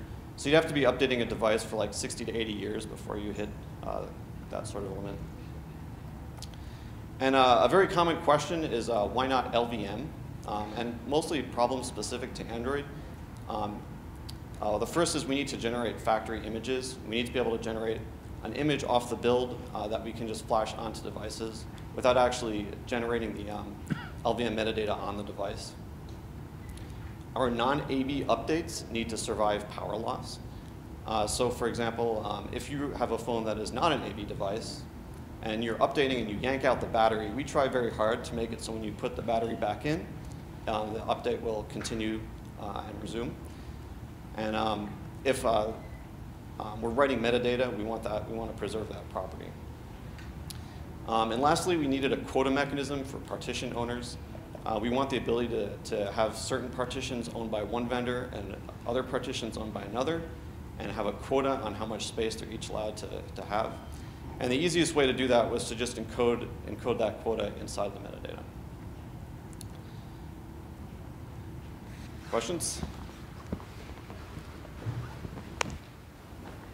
Didn't quite get your rationale for uh, why you didn't want to add user data to the, the set of partitions you could resize on the fly. So initially when we uh, set out to do this, we actually wanted to uh, uh, resize user data as part of that. So let's say um, um, you actually ran out of space in super partition, we'd be able to start encroaching into user data. That turned out to be a huge can of worms for many reasons, and we backed off that. And just to, to uh, reduce the risk of, um, of user data becoming uh, inaccessible or corrupted, we just kept it out, out for now. Okay, thank you.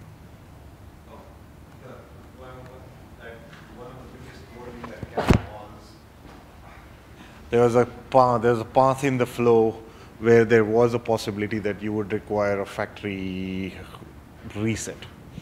And that's basically, for us, is a regression from what the current AB update behavior is. Uh, we don't know how, how much or what the frequency of that path that happens, but we definitely intend to monitor and see what we can do about it. But yeah, so basically that was the risk, to include user data. Uh, is, all, is all the changes available in AOSP master now for this support? Yeah, is my question, is this upstream? Yes. Yep. And so do you know if uh, the regular Linux distributions also pick up the user tools and all, all that, or it's just for Android? Just an AOSP, I think. Yeah, because it looks. Yeah, but d- do you know if it was adopted other than? Uh,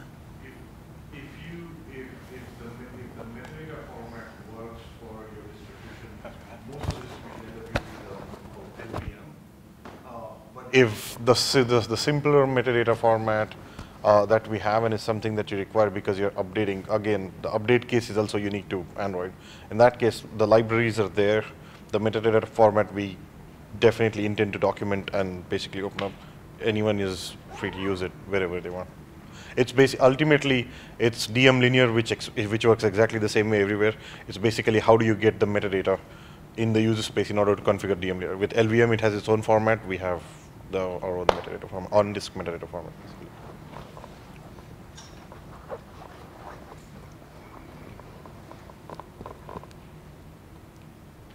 Five minutes.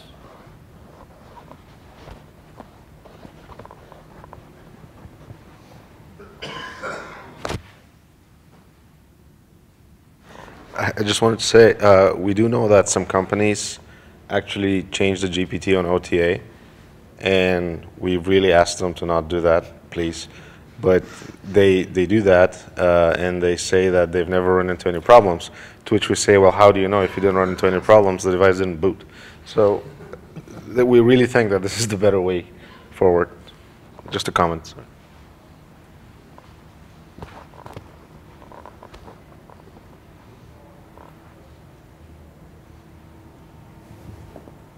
All good? Early break. All right, so um, it's break time until 4. We'll start at 4 sharp. Thanks.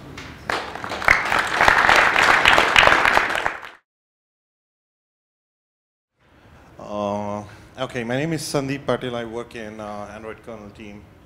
Uh, one of the reasons uh, we were talking about FSTab and DTS is because of something that we did uh, back in uh, Android Oreo, for example, and we actually talked about it in the Plumbers as well. And what we did for Project Treble is when we wanted to split platform from vendor implementation, which means we also wanted to make sure all the code that, uh, that is responsible for vendor and hardware part lives in the vendor partition, and, the, and all the code that uh, is responsible for platform lives in a system partition. What that means was uh, we also wanted to make sure the SE Linux policy that goes and basically attributes every single one of them also is split across these two. So in order to be able to do that, that means we have to basically build the SE policy as we boot into Android, and we wanted to be able to source that SE policy from uh, both of these partitions, uh, assuming that one of them can get updated, particularly in platform. Uh, what that meant for init at the time was we wanted to make sure both of these partitions are available as soon as init has started. And that wasn't the case for, say, non-AB devices at the time. For AB devices, I think um, system partition was being mounted as root, uh, but vendor partition was not guaranteed to be around. So our solution to that was that. Uh, what that is, is uh, basically a way for us to tell init where to look for system and vendor partition.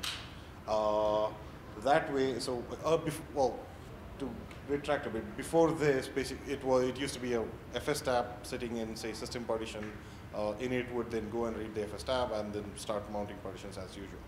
Now that we need these partitions even before SELinux policy is loaded, that means we don't have any file system to work off of, but we still need to get this information to init somehow. Uh, so that somehow at that time turned out to be device tree. Uh, and that basically means we were locked to the device tree, which basically the feature at that time was called, um, I think, uh, early mount. has changed its name, early mount, first stage mount, because the mount for system and vendor happens in, in its first stage. Uh, what you would see that is basically a device tree binding that basically reflect an FSTab entry for Android and uh, the things in bold there are basically what are vendor specific. For example, the SOC 62400 part is something that is vendor specific and you don't know that in advance. So it had to be hard coded in the device tree, uh, which has caused a lot of grief because that means whenever you want to change anything, you have to basically flash uh, the kernel in order to be able to basically figure out where to mount from. And that has caused a lot of cross dependencies. Same thing basically continued on for verified boot 2.0, which basically use AVB. Uh, so we actually piled on to this method and added an AVB node to the de device binding, which is called VB meta. What this is supposed to do as of uh, today is mention all the partition names without their slots of it that are verified by AVB. Uh, the reason for that is, again, in its would go and read this and make sure all of these partitions are verified using uh, libavb and make calls into libavb. Uh, the biggest part here, for example, boot, it's not even, there's not even a file system on it, but it is verified, it is part of the verified boot chain. Uh, the FS manager flag changed from, say, verify to AVB. But, and there's one more thing that's not mentioned here, but it did happen is the vendor specific part, the, the name, the SOC slash 62400, that also changed into basically a, a, a DT property called boot device, which is, which is a way for init to tell which exact device to look for system and vendor partitions from, because there are reference devices that may have, say, an eMMC and UFS, both have both system and vendor partition, and we need to know which ones to boot from. So the way to do that was, again, through device tree well, uh, suffice it we basically uh, made one change and we pretty much piled on it for the next two years in order to basically keep moving. Uh, with Android P, however, there's one change that happened, which is uh, all Android Pie devices are now expected to have system to be mounted as root. Doesn't matter whether it's AB or non-AB. And with uh, David talk earlier, you saw we're, uh, we're, we're, trying to work on getting uh, logical partitions in shape which means we have an opportunity here to basically get rid of all of these bindings from device tree and put them back into FSTab, which we think where they belong. Uh, and which that means the RAM disk comes back, which is what we're calling first stage RAM disk. All this means is um, the current init binary in Android already has two stages, first and second, but the first stage now gets executed out of this RAM disk, while the second stage gets pushed down to the system partition. Uh, we would uh, we obviously want to maintain the property that system is still the root file system for Android. So first stage partition, uh, first stage after it's done doing what it is supposed to do, which is mount partitions and load SE policy, is going to switch root into slash system and then everything, and then it never, uh, it is not seen ever FS tab um, doesn't have to be special FS tab for that root file system. We, I think we are planning to have a flag that tells which one of the partitions are to be mounted in this special first stage and which ones are not. Uh, it ends up unifying all treble, non-project treble con uh, configurations, removes entirely anything, any need to have anything in the device tree, including those VB meta configurations, because uh, we realize we actually don't need to re-verify boot partitions because it's verified by the bootloader in the first place. Uh, and basically, the FS tab doesn't have to be different for different partition. It can be the exact same FS tab that gets copied into, say, vendor, and as well as the first stage RAM disk. Just the FS manager flags can vary, and that decides which stage of init those partitions get mounted. Uh, and lastly, the boot device part can go back to being passed via kernel command line, which basically completely removes everything that we added in device tree, and that's what we plan to do. Uh, last uh, but not the least, another thing that we are trying to do in our, around device trees is for Android, device trees were appended to the gzip kernel image for the longest of time. So bootloaders basically uh, unzip the kernel and then find the device tree appended to it and then run through them to find the device, uh, the, uh, the base DT that is applicable to the SoC. We are actually going to get rid of those patches that appends this because what we ended up doing with Pie was we versioned the boot image header because boot image header was uh, immutable before because uh, if a bootloader is carrying that, that particular header, then we didn't want to break any of them. So what we did last year was to version it. I think the boot image is at version 1 now. So we have an opportunity where we can put a device tree entry into boot image and call it version 2. So and we can and then the bootloader can check for boot image to be whether it's version 1 or 2 and then expect the device tree to be there. So from now onwards we want the device trees to live there which means the good side effect of it is it also gets rid of about 8 to 10 patches just to append the device tree at the end of the kernel from that we've been maintaining on the uh, that's at least the solution we have in mind, but we are open for suggestions. Anything else that you can think of, good, bad.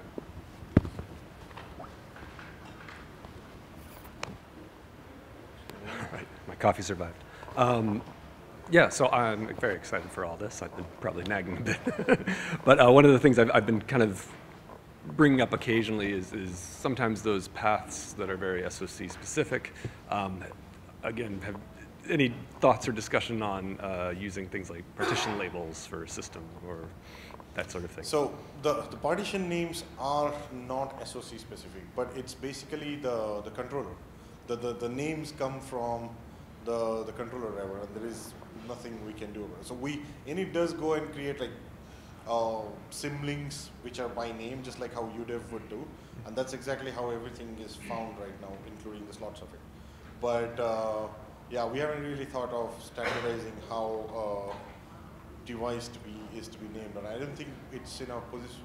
I don't think we sh actually should even do that because uh, eh, the the configuration is vendor. Every board is different. Every SoC slash controller is different, and we don't necessarily want to standardize the name for it because that means how you register the respective subsystem in the kernel changes because of that. Because we don't want to figure out uh, one way or the other, you're going to have to tell Android which one is, which is the device that you're looking for partitions for. Either you tell it through boot device or in order to create a standardized name. How you tell it is only the question. So if you have idea about getting rid of boot device from command line, I'm all ears. I actually don't want anything on the kernel. Yeah, I mostly just thinking as if you use a partition label, then as they're discovered, they can be automatically matched. And this is how sometimes distros would, or you know, enter, I don't know, I guess enterprise yes, distros do but, but uh, there is the risk where you could have two devices that have the same partitions. Like an SD card has system partition and an yeah. has system But I'm not sure if the AVB might. Oh, that that is why boot device still exists. Otherwise, there is no need. That's still a thing. So, for example, on, on a HiKey board, if you have an SD card and with system and internal, so we don't know which one to boot from. Okay, as long as they're both signed properly. Then I guess the question is, why sure. would it matter? well, and then there are those. Well, I, I know. We, we got three minutes. Right. A whole bunch of reference devices have two eMMC and UFS configurations too. So. Okay. Yeah. Yeah. So uh, now that you brought back the initramfs, have you looked into ways of freeing that memory, or have you? Yes, uh, yeah. that gets freed before the right after switch root. So the second stage takes care of that. Cool. Yes. That, the, that is the reason behind switching root completely and executing to the second stage. So there's not there's no leaks uh, in the first stage. So we never go, you can never go back, of course. Okay.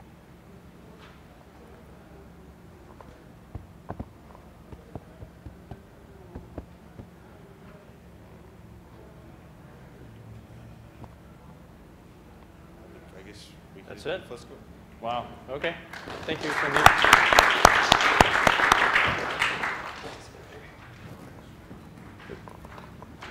Yours.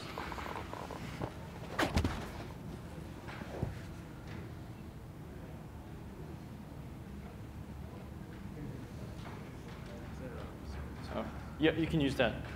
All right. Okay. Thanks, Joel. So uh, I'm going to talk about uh, our the work we have been doing with uh, getting trying to get AshMem out of staging, uh, the plan that we have, uh, all the work that we did, and uh, the you know the the open questions and the problems that that we're dealing with. I think I switched off. Okay. So why do we want to do this? So uh, the thing about uh, the the AshMem driver is it's uh, it's been in staging for so many years. Uh, things in staging are not Linux ABI. Um, you know they can be deleted at any time. They're not expected to be supported, so it's not a good thing to to have it in staging. Uh, AshMem is uh, it's, uh, by design it's uh, it's just like a wrapper layer on top of SHMem, uh, and that design has had a lot of issues that we've seen recently, like with with locks and deadlocks and things like that. Bugs keep coming up, um, and then the third reason is you know Linux systems already have MemFD, so we'd rather just use that and add features that are missing in that. Uh, it, you know, it's robust, widely tested. If I understand, it's actually been around longer than SH, uh, AshMem, uh, and it's it's uh, very well integrated with the uh, core MM, you know, subsystem in the in the kernel. So we we'd rather use that. So the, the roadmap kind of looks like, you know, if we want to add missing features to MemFD, whatever we need, send those patches upstream, remove use cases and user space that don't need AshMem at all, uh, change the implementation in Android. So our plan is to keep the API in, in the Android libraries uh, the same, but change the underlying implementation to actually use MemFD instead of, uh, instead of AshMem. Uh, and then we have to uh, look into the problem of um, apps that don't use uh, the Android libraries and directly use AshMem, uh, like, like the Chrome browser. And so we have to look into uh, doing things like add, adding SELinux rules and monitoring, auditing, and seeing who's using it and working with them to move away from it. And then finally, uh, you know, after everything is done, we can look into removing the driver from staging or something like that. uh, so one of the features, actually the, the only feature that is missing uh, that we wanted in MemFD is for memory protection. So Android has this use case where you can uh, allocate a, uh, a region of memory and send it across to another process. And when you, before you send it, you can set the protections for that region to, uh, to be read-only so, so that you can, uh, so that the sender could continue to write to it, but the receiver will only get a read-only uh, view of the, of the memory region. Um, and so th- uh, there's a, a, a, class in, in Android called cursor window, which, uh, which needs this. Um, so patches for this uh, are completed, and uh, we uh, sent them upstream uh, last week, and it's uh, it's looking good. It should get merged soon. Um, so this was the this was one of the other features that we thought initially um, a, a, a MMFD might need, but it turns out that there's not a lot of people using pinning and unpinning. Um, in fact, the only user we have seen is, is Chrome.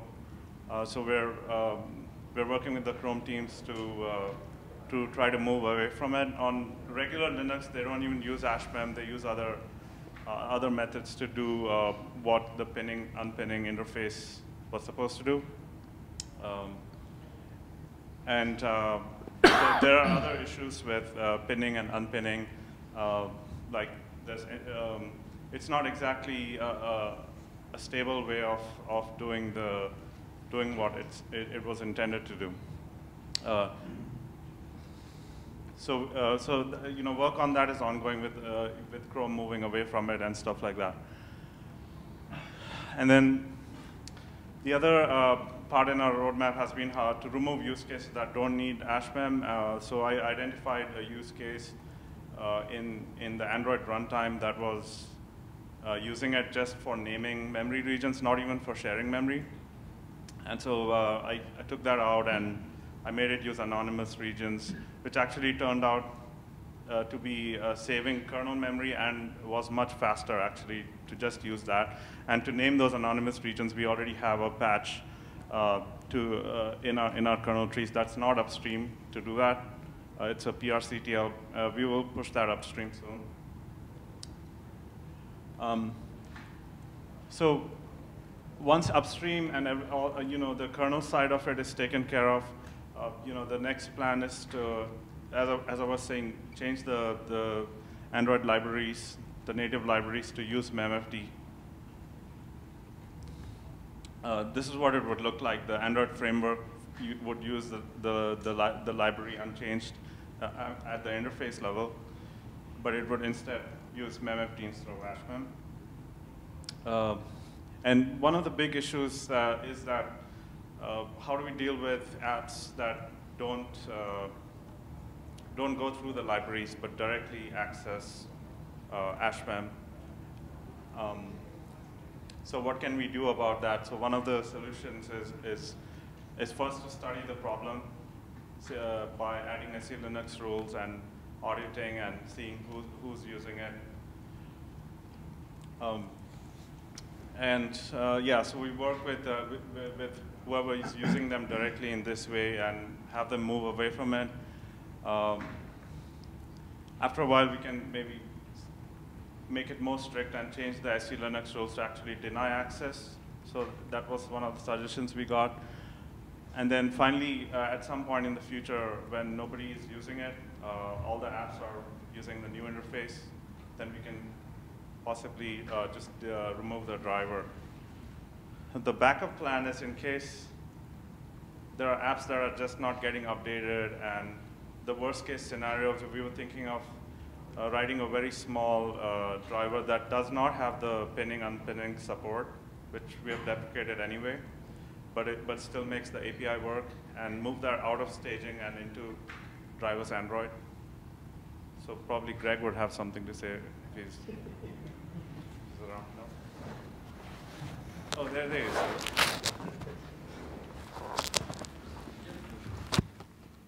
Um. Uh, not breaking user space API is important. I understand that. But if you're implementing something that you know is broken, why, why add it back, right?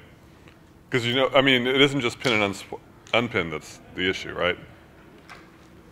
Uh, no, it's it's not just that. It's the it's the fact that you know this is exposed to applications that don't go through libraries but directly open dev ashmem and make IOCTLs on that, and they, have written their own code to do that. And if they don't update themselves, then they break.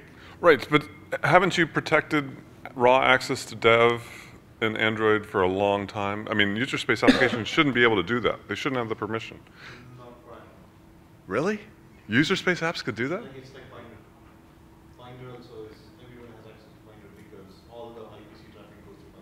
But Binder, I thought was at least went through libbinder. Yes, it does. Library doesn't have context in HTML. Uh, so I, that was really my question to Joe, like how are you, how are you going to make sure all accesses to Ashmem are going to libc? I think it's going to have to be the other way around, where we replace libc to start using MFD. Yes. And then you start having Ashmem because because then you're guaranteed that all the accesses to Ashmem are not coming via library but are open coded but yeah, AshMem has always been open. So yeah, we will end up breaking user space if we do anything Yeah, go ahead. So, slightly different topic, but are you planning, like, you- you're going to add SELinux rules to flag, like, those device, those apps that actually open DevHMM directly? Are you planning on surfacing that through the Play Store, or how are you planning on actually auditing that? So this, the point of SE is very new actually, uh, so I'm still working with the security folks to figure out what the audit results are going to look like. I don't think we publish it anywhere, as far as I know. Because, so are you planning on running every app in the Play Store and flagging, looking at the kernel logs? Yeah, I'll have to get back to you on, on that, yeah. Oh, the, the, there are ways to, well, like, uh, uh, there are ways we can do in order to figure that out. But the problem is, how do we make sure that is deprecated? Because I don't think that's going to happen sooner than we get memfd ready for replacement in libcutils. And so, yes. So the problem is, how do we, what's the, what's our stopgap solution? So would, should we have like a wrapper driver that he was saying for the, while we try to work on apps removing the open coded thing? Because that's the long tail, basically. Well, I mean, if you, I mean, I see no difference between this one and the small driver as than what we have in driver staging today. I mean, I said I'll leave it alone until you guys figure out how to do this. I'm not going to delete it. Yeah, yeah, yeah. yeah So- we- we- this was not about deleting it like right now or something. But no, but I mean, so rip out pin and unpin support today from what we have. Once you get the M- MFD stuff in the library Yeah. working, and go from there. I mean, if we can start Yeah. deleting stuff. That, yeah, that's what I, I mentioned that like, I think I mentioned it somewhere that we could Yeah. take out a take out a huge chunk of the driver that nobody's using, keep the interface. Is it, And then is it possible to keep the user space interface for AshMem, but internally use memfd all the way? Uh, Five minutes. I, I don't. I I wish. I don't think the API lends itself to that. Well, we're going to map user space API to use memfd anyway. But you have more. Because we're you not have going more to change control over the file APIs. descriptor, right, in user space. We need file descriptor, yes. I think you have more. I don't know, but if you could rewrite it to do the same thing. So internally use memfd in the driver while keeping the use, user space the same. I don't Yeah, know if it's that's, possible. Uh, going to be very messy, but we, we, we ideally don't want to do that. It's kind, of, it's kind of like babysitting user space and allowing them to continue to. Well, no, you know, I, it's- it's this, again, this is a stopgap solution, but, but it gets rid of the whole, the hope is it removes the ashmem code as it stands and it's basically a wrapper to memfd create, like, for example, uh, ion buffers are to DMA buff. Yeah. So Yeah. okay with having Ashmem can upstream if, if Well, it's been there. No, if it's rewritten around MFD. I, I, I don't like that. I mean, ideally, I'd like it to be deleted, right? Because it's duplicating functionality we have elsewhere. If you can rewrite it around memfd, there's also some fun things we can run user space code from modules in kernel space that we might be able to wrap fun way. I'll talk to you later about that. Um, if you want to just wrap it that way, we might be able to keep the same kernel interface. If I mean, the problem is you have to keep this kernel API. Yes. We made that guarantee, so let's work and figure it out. But doing the work that you have so far is great, so future stuff doesn't touch it. Yeah. If we can evolve over time. And I'm not going to delete it, so.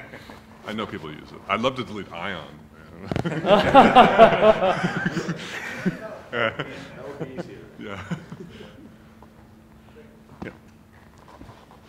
Um, so I know Parcel, like what we use in Binder to transfer stuff, uses ashmem when you go beyond like the typical Binder transaction windows. If you pass like a blob of a binder that's bigger than a megabyte, it transparently uses ashmem.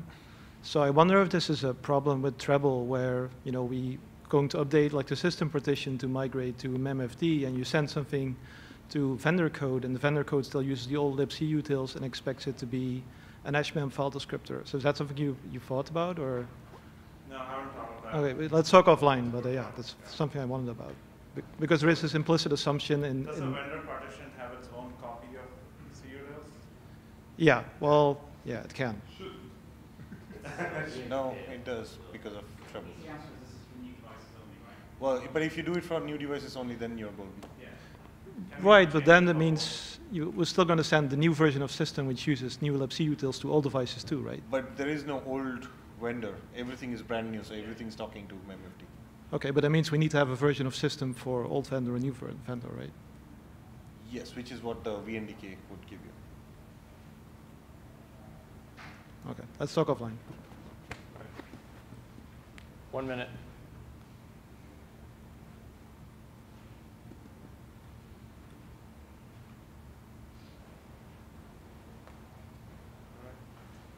It's right there. I'm just a little sad that nobody really likes unpinning. That- That's No, it. nobody likes what, sorry? Nobody seems to like unpinning, but I thought it was so elegant, so it's just my, my, my whoa. All right. Thanks, Joel.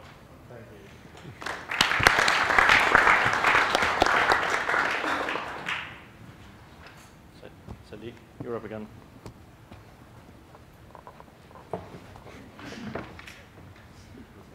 Sorry, I didn't hear you actually. I didn't hear All you. right, all yours. Uh, sorry, guys. Okay, uh, I actually don't have anything to tell in these slides. Uh, I talked all about it in uh, yesterday's talk, but I'm going to go through it very quickly just to, just in case someone wasn't there. Uh, that uh, out of tree hardware supporting code, uh, pretty much every single Android device has millions and millions of lines of those. Uh, how can we do or deal with it and while carrying kernel updates with Android because Android has the problem where we're pretty much carrying about five to six kernels. I think to give you a perspective, I think we still have 310 kernel, uh, uh, which is which was released in 2013. Um, so with Project Treble, well, what we, we ended up doing GSI, which is what we call generic system image, and uh, we use that system image that is built almost out of AOSP code, and uh, but uh, the Project Treble implementation is verified by basically booting that system image on any Android device. Uh, that pretty much verifies all the interfaces between platform and the vendor implementation are implemented correctly. Uh, we also run a couple of test suites on top of a device that's booted with GSI. So uh, that basically proves the entire idea of Project Treble where we have uh, stable interfaces across platform and vendor and then so that means we can move platform forward as long as we are not big breaking those interfaces without having to update anything from the hardware specific parts. Uh, the GKI basically is analogous to GSI in that case. We wanted to explore the option where can we do that with the kernel because we really don't want or like maintaining 310 kernel in 2018, for example, uh, which is five years old. We are maintaining six of them at the same time. And uh, so we started on this study about is it possible or can we start small? Can we maybe start with a single architecture, say ARM64, which we know uh, was written pretty much to be, uh, for the, at least the CPU code was written pretty much to be uh, as runtime configurable or as an, um, pretty much everything is detected in the boot, at the boot time. But we are not sure whether everything else, we, I went through, we went through a bunch of small subsystems, all of them are configurable through uh, device tree. Uh, but there are big subsystems that I know Alistair is going to talk about DRM KMS, the display, camera, graphics. Are there any uh, uh, core, are there any SOCs that need something core in the upstream kernel right now that's just completely missing, which will basically stop them from booting? I know there are a whole bunch of non-architectural or non-SOC or non-hardware specific changes that every single kernel has, and we welcome that. That's, that's absolutely fine. But what we are trying to find out, or what I'm trying to gauge, and this is basically what is up for question, is is it feasible as of today? What do we see as uh, possible blocking uh, issues? I listed the two of them. Display cameras, two, some, two of them that I worry about. What, what else are we missing? Is there, for example, ARM64 CPU code, is it all there? Does it cover all the ARM uh, variants? Does clock framework cover everything? I actually don't know, so I intend to ask you. Uh, does, uh, do we have all the support needed for power management, for PMICs, for uh, regulators? Is that, can that all be configured and uh, through device trees, so the kernel basically just boots. Obviously, this assumes that anything that is uh, needed to the generic kernel is loadable as kernel module, which means you need file systems, and in, in which case the initrd basically ends up playing that role as well, where you don't actually need the storage. You can basically have those kernel modules in the initrd as long as you can boot to init. So what we are looking for is basically boot to init. Can we boot to init on any ARM64 CPU today? And if we can boot to init, then anything else that you need from then onwards to boot Android can be loaded as kernel module as long as you have support for device tree to specify those things. Uh, and that's pretty much the question. Uh, we've been looking at that and uh, uh, we've gone through a couple of subsystems, but we still don't know anything. So that's pretty much the question that I had here for everyone and basically discuss. If you see this as a problem or you see, or you think upstream kernel is already ready for this and we should basically go ahead and find the hardware to do this.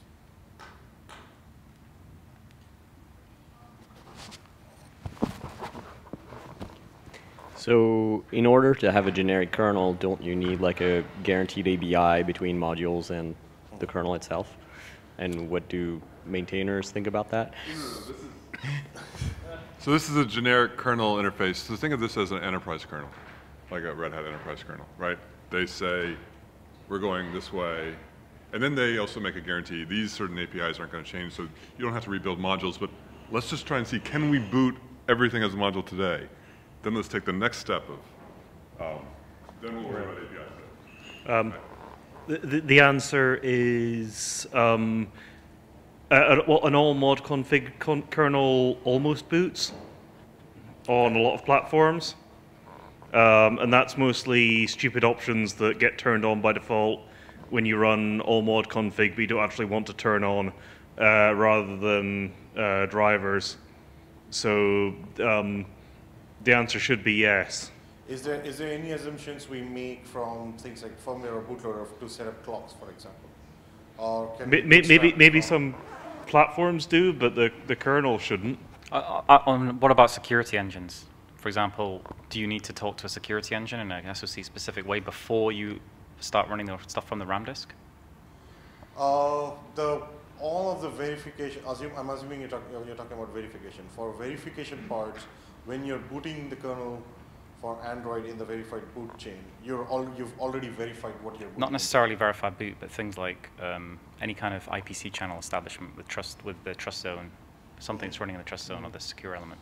I don't know. There, a lot of them are also again SOC specific. I right. don't know. And those, could those be modules? And would it be valid to load them at the NIP Yeah. manifest time? Uh, actually, to be honest, I'm not actually worried about having drivers as modules. I know that's going to be feasible. What I'm worried about is subsystems not having, say, enough exported symbol in order for those drivers to function that way, or device tree bindings that don't exist, or we don't. We need more code in order to configure those devices that way. You want to say something? I'm, I'm just surprised you think this would be a problem. Well, the goal was to have this. The goal with ARM64 was to make this work. Yeah. I don't think anybody's tested this. Which is which is why I No, we- the ARM64 in this. I know. we- I'm not asking about ARM, of course. Uh, w- w- no, uh, people. I mean, the reason I know about all mod config is uh, so there's somebody at Linaro who's been testing that for test purposes, uh, unrelated to Perfect. like deploying in production. Right. Um, so if we, so I guess the, the big question is if it works today, then we can tell the SoC vendors your 2.5 million lines of code better not break that assumption. Yes. Well, That's- that's that's the idea. That's the part of the compliance, and that's that's the big key, and that's would be the good. That would help them clean up their code. And if it doesn't work today, it's probably more in the small bugs somebody can fix level than anything massive. I mean, the, the, the, the building stuff as modules is covered by all the build coverage stuff. Yes. That's like export symbols and stuff are fine. And the device tree stuff is unaffected by whether you're building modular. So, Well, yeah, there, there, like for example, there may be some architecture. Say, uh, here's here's a case which uh, I thought of. Totally hypothetical. I don't even know if there is such a thing. There is there are co-processors that are booting with ARM at the same time, and you basically because of you dealing it everything up until init runs. Now you're dealing in the whole boot sequence, and those co-processors are also actually responsible for turning on clocks, for example.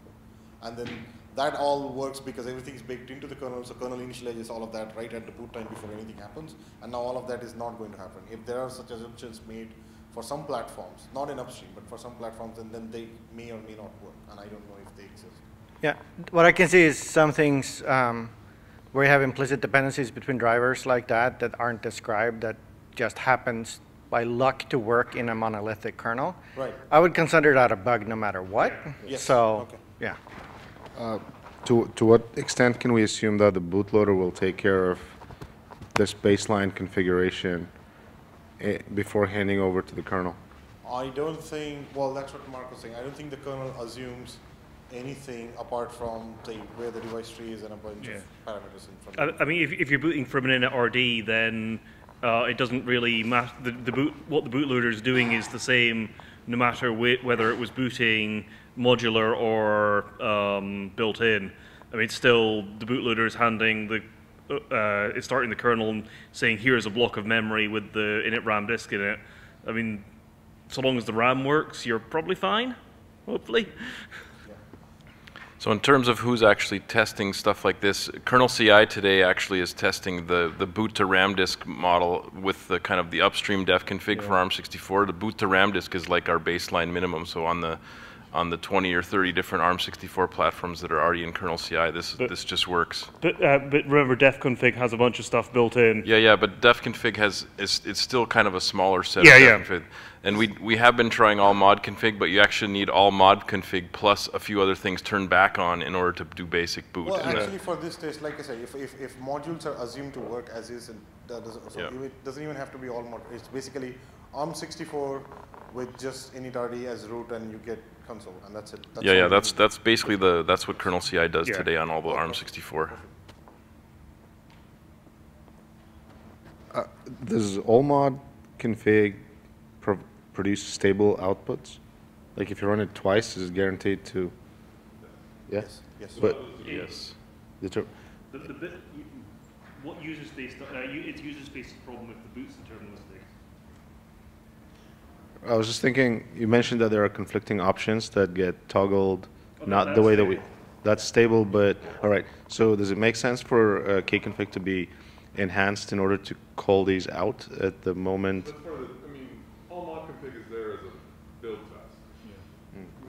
I mean, so, and then you go back and you turn on your specific ones you need to build your platform, and you make a def config for your platform. You can make a def config, here's a few things that are enabled. Even x86 is that way. I don't know if x86 can build an all mod config. I mean, the the obvious the obvious thing is like you, you do all mod config, and even your drivers drivers for serial console get turned into modules, so you can't actually boot and see any serial output. So you might be booting, but you're not getting anything that's detectable by the test framework. So. Yeah.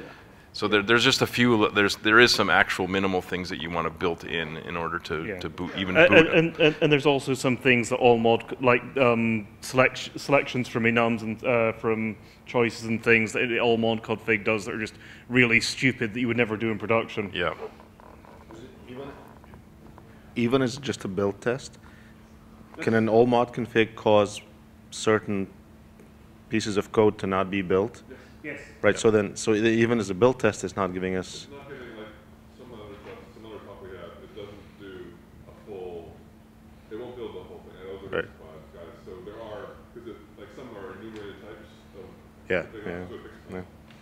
Like, like we, we, only, we can only have one memory allocation algorithm at once, for example. Mm. Three minutes. There's someone in the back corner also. Todd.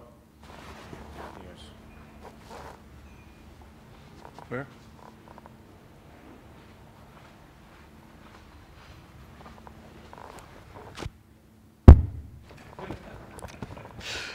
Yeah, I mean, uh, just in terms of subsystems, there you've got the like display and graphic stuff.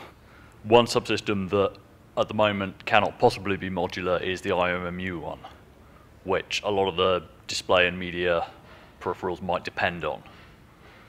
Now, Oh. In theory, it's it's okay to build a kernel today with all of the possible IOMMU drivers built in for ARM64. You know, they won't fight with each other, but that does mean then you've got you've got to build the kernel for all of the currently known devices and can't add them later. I, I, I always thought IMMU drivers were registered with one of those DMA buff subsystems. So the, the calls into drivers go, I haven't even looked at it by the way, so thanks for bringing it up. But the call, the, the implementation of IMMU was still a register and register interface into a core subsystem. And if that's not the case, then I guess we need to work on this. Yes, then that's needed. Yeah, the drivers register themselves in, into the core subsystem. The problem is then the devices behind the IMMUs Right. depend on the IMMU driver being detected first. Yeah. So you will end up not probing any of your graphic stuff until in it, and then you'll give up because there's no IMMU driver, and then if you do load those, they will have to work without the IMMU, which generally means they won't work very well. But then do we have a case where IMMUs would be, driver would be needed and needed for boot to RAM disk, for example? Uh, probably not on mobile. Well, in that case, then we can load the IMMU driver first, followed by the rest of the peripherals.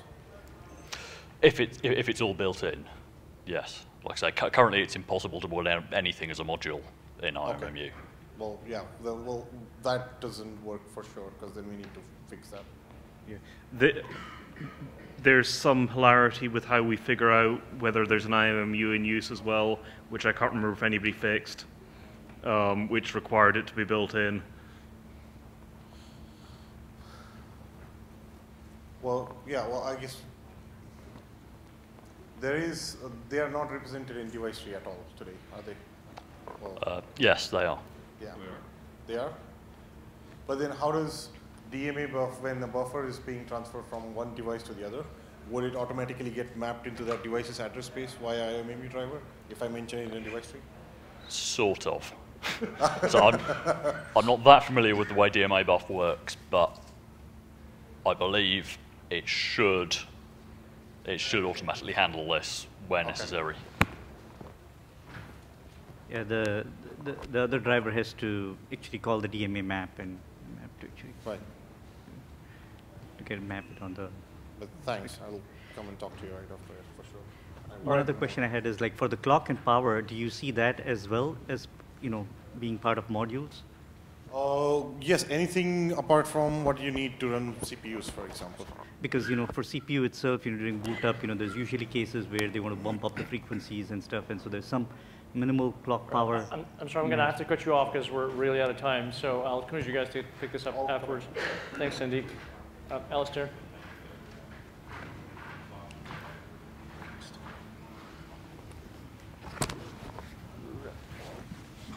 So DRM KMS for Android, um, if I can find my mouse.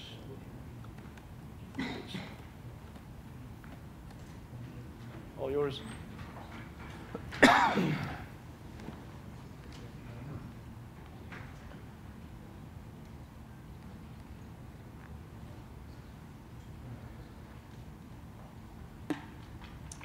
Uh, hi, um, my name's Alistair Strachan. I work for Google. Uh, I just wanted to talk to you guys about uh, DRM KMS for Android. Um, I uh, looked back at a few other presentations that have been done over the years about this subject. Um, obviously, there's been a lot of interest in DRM KMS for Android, but there hasn't been a whole lot of action in actually implementing it. Um, so one of the things uh, I was just going to go through was exactly why we want to use DRM KMS, why is it a problem today that we don't use it, um, what's happened over the last few years with DRM KMS, and kind of where we want to get to. Um, so this is kind of a classic uh, thing that you'll see on most, on, on most uh, shipping Android implementations. You'll have uh, an uh, IP provider or the SoC manufacturer will, will provide the 3D core, the 3D graphics driver, the video driver, the display driver, the scaler, and everything will all be built in as some kind of mega driver. Or there might be separate drivers, but they won't be using standard kernel interfaces. And they'll have some kind of proprietary interface that runs between kernel and user space. And this is not a problem for Android because Android doesn't specify uh, that you have to use any particular kernel interface. And the HAL abstraction layer allows you to hide this behind the Gralloc and the Hardware Composer module. Um, but this does cause problems for us because um, in, based on what Sandeep was just saying about GKI, uh, we don't really want to have so much uh, custom code running inside modules because if there's a security problem found or there's some other capability that we want to add, we should be able to do that in the kernel, in the core kernel, rather than having to do it in the driver modules, uh, which, we, which we would obviously prefer not to touch. And there are other reasons as well why, why DRM KMS is the right thing to, to do.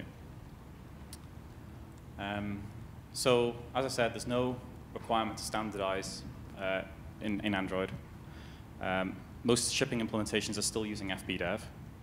Um, we, code duplication is a problem. Uh, everybody implements their own display code, their own synchronization mechanisms, their own communication paths with GPU and, and VPU. And uh, there's not really any reason for that.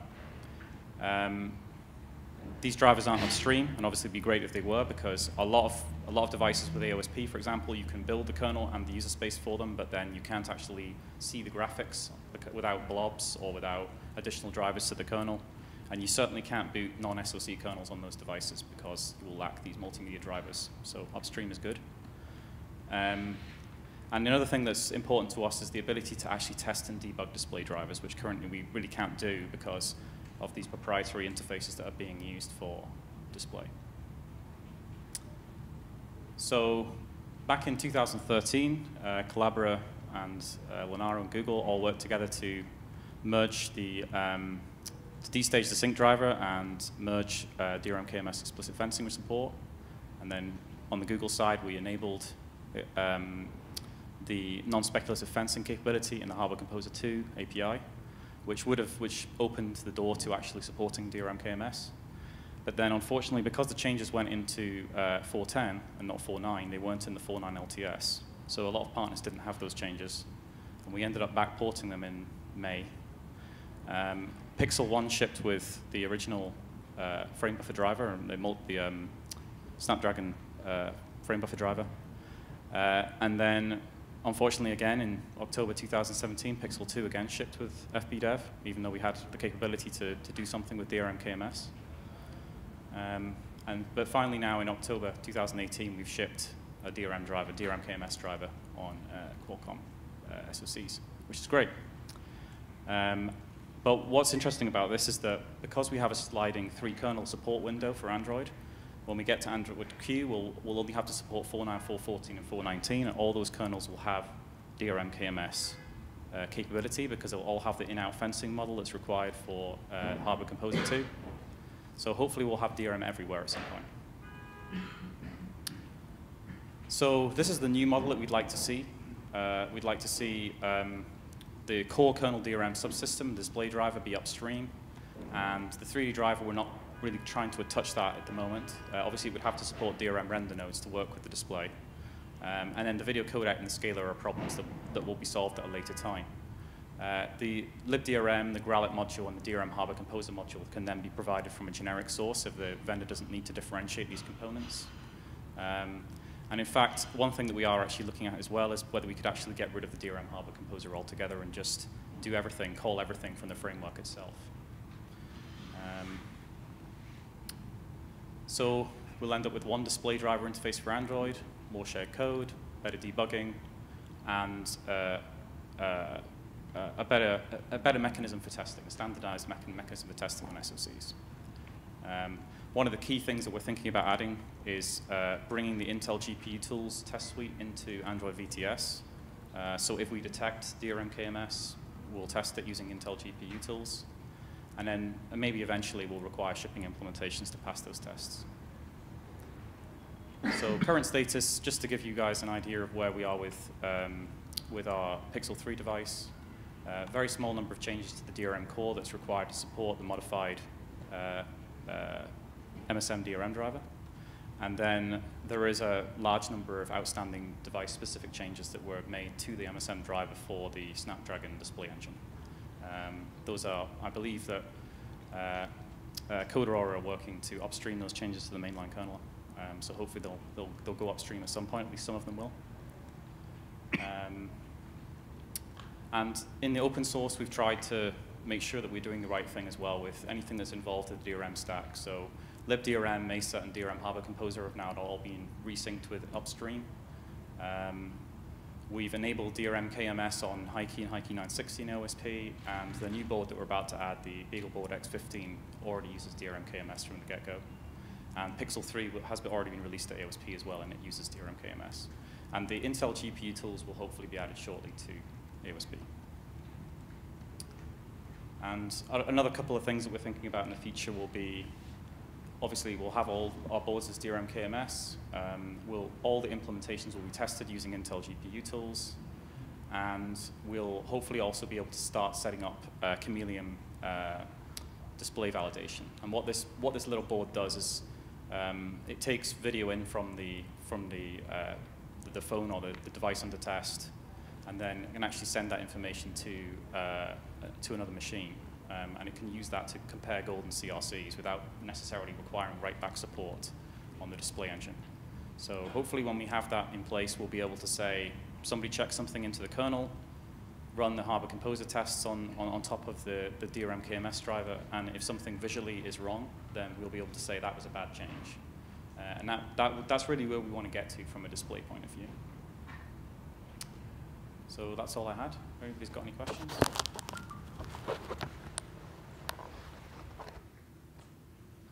Uh, I think we prefer that you call the Intel GPU Tools project the IGT project. It's, we want to on-brand it as quickly as possible. Just IGT? It's called IGT now. I think it's called IGT test, Graphics Test Suite. It's, it's recursive. But Okay. we're trying to remove the Intel from it because some people are like, ooh, we don't want to contribute to something with Intel in it. That's So- great. No, That is great to hear. Um, so what, what, just, I'm just curious, what's the contribution model for IGT? Uh, I'm not a maintainer, so there's two other people who maintain. uh, but essentially, like, send it to the mailing list, get it reviewed. Once you have like a handful of patches and want to keep contributing, we give you commit rights. Uh, there's a CI bot testing the stuff to make Cool. sure th- things keep working. So I think if we mirror the project and we encourage partners to upstream those patches, then we just mirror that project, and then they'll, they'll just suck up those tests, which should be great.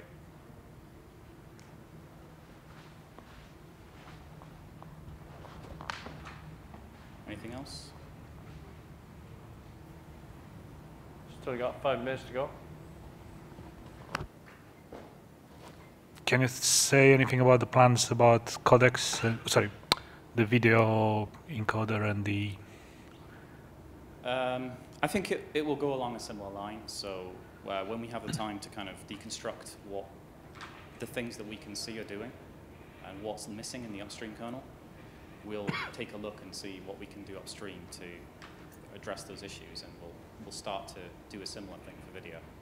Um, the reason why I've looked at display first is that I believe that we are in a place now where there's no reason not to use DRM KMS upstream. Um, there may be value add functionality from the SoC manufacturers that is not currently implemented in the core kernel, but uh, if Pixel 3 was able to ship with it, it's a good, it's a step in the right direction, which proves that you can really do it. So we would want to see a similar thing for The, the reason why I'm asking is because some of the stuff in the display, for example, modifiers, works. You can test it better if you have a producer that usually is not in the yes, display. Yes, exactly. Um, yes, I mean, we will, we will probably need to end up baking a lot of data that, for, to test this effectively. If you're using something like a tile texture for a tile pixel format or FB compression or something like that, we'll need blobs that we can actually upload to test the display engine, not necessarily have it produced by another high IP core if we don't have that available for testing.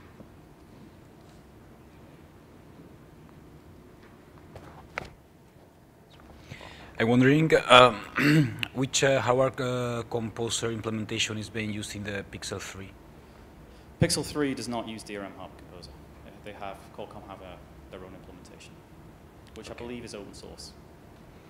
Okay, and is there any reason for that? Any big gap in functionality? Or? Uh, that is an excellent question. I don't know. Okay. Uh, we would obviously, if, if, if, our goal right now is not to require that DRM Hardware Composer is used, or that there is a standard Hardware Composer, but should the graphics team of Android decide that they don't want that abstraction anymore, then we would want to be in a place where we knew that everybody behaved correctly with the standard interface. So we, we don't want to see like nothing works unless you call a magic ioctl event a specific extension before you can actually composite on the screen. So that's where IGT comes in. If we can show that basic things work, then we might be able to go forward with getting rid of the Hardware Composer HAL. The Hardware Composer HAL is a really tough thing because uh, most Har- Hardware Composers don't just do what the Hardware Composer spec says they should do. They're actually a nexus for information that comes through from the GPU driver, from the video decoder, from everything. And they, they, will, they will handle all those peripherals inside the DRM Hardware Composer. Uh, and that's something that we want to discourage. We're trying to break up those connections so that people don't do that from their Hardware Composers. Um, and that's kind of the, probably the toughest part of this problem. Um, but right now, it's not necessarily our focus. But you still need a place where you're going to put all the knowledge that you can't express it through the DRM API. Yes. So uh, there is an idea to add something called the planner. And the planner will be something like a DRM Hardware Composer, but it will not have the rights to call into the kernel. So it will, or not to the display engine, engine directly. So it will be able, able to collate information potentially through the binder or through some other, maybe it will be able to access sysfs or some other limited set of functionality that will allow it to, to come up with a composition plan that it then sends to Surface Flinger, which will actually submit the commands to the display. So the idea is that the, the, the, the, DRM Hardware Composer is no longer in sole control of how the screen gets programmed. And the advantage of that is that when we start writing tests, we don't have to write tests that are vendor specific that call if, if def Intel, don't do this thing because there's a bug, or don't call the, call the, the DRM octals in this particular way due to this hard level limitation. What we instead do is just send it to the planner, which is a, a vendor component, get back a composition which has filtered out anything that the harbor can't manage or would prefer to do, and then just push it through to the display via Surface Flinger. But that's not been implemented, and I don't think it's planned to be implemented for Q. So at the moment, it's status quo with Q. There's also the option to go via atomic check in the DRM, although... Yes, yes, absolutely. Um, there One are some, minute. Yeah, there are some drawbacks to atomic checking, like I guess performance, uh, when you have to go back to the kernel, if you, especially if you do it multiple times. Um, but it's definitely a good way of going forward. I think that's something that we were planning on adding to DRM Hardware Composer if it hasn't already been added. I think at the moment the rules are kind of hard-coded, but uh, I think each SOC, each SOC customization the DRM Hardware Composer can provide a planning. I don't know if it necessarily does something like you're suggesting, but we could definitely add that.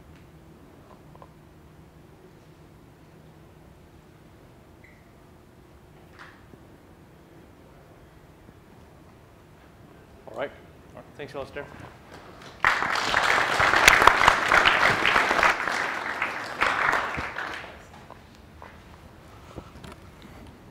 All right. So, no Android MC would be complete without a discussion of ION. Um, is that on? Oh, there we go.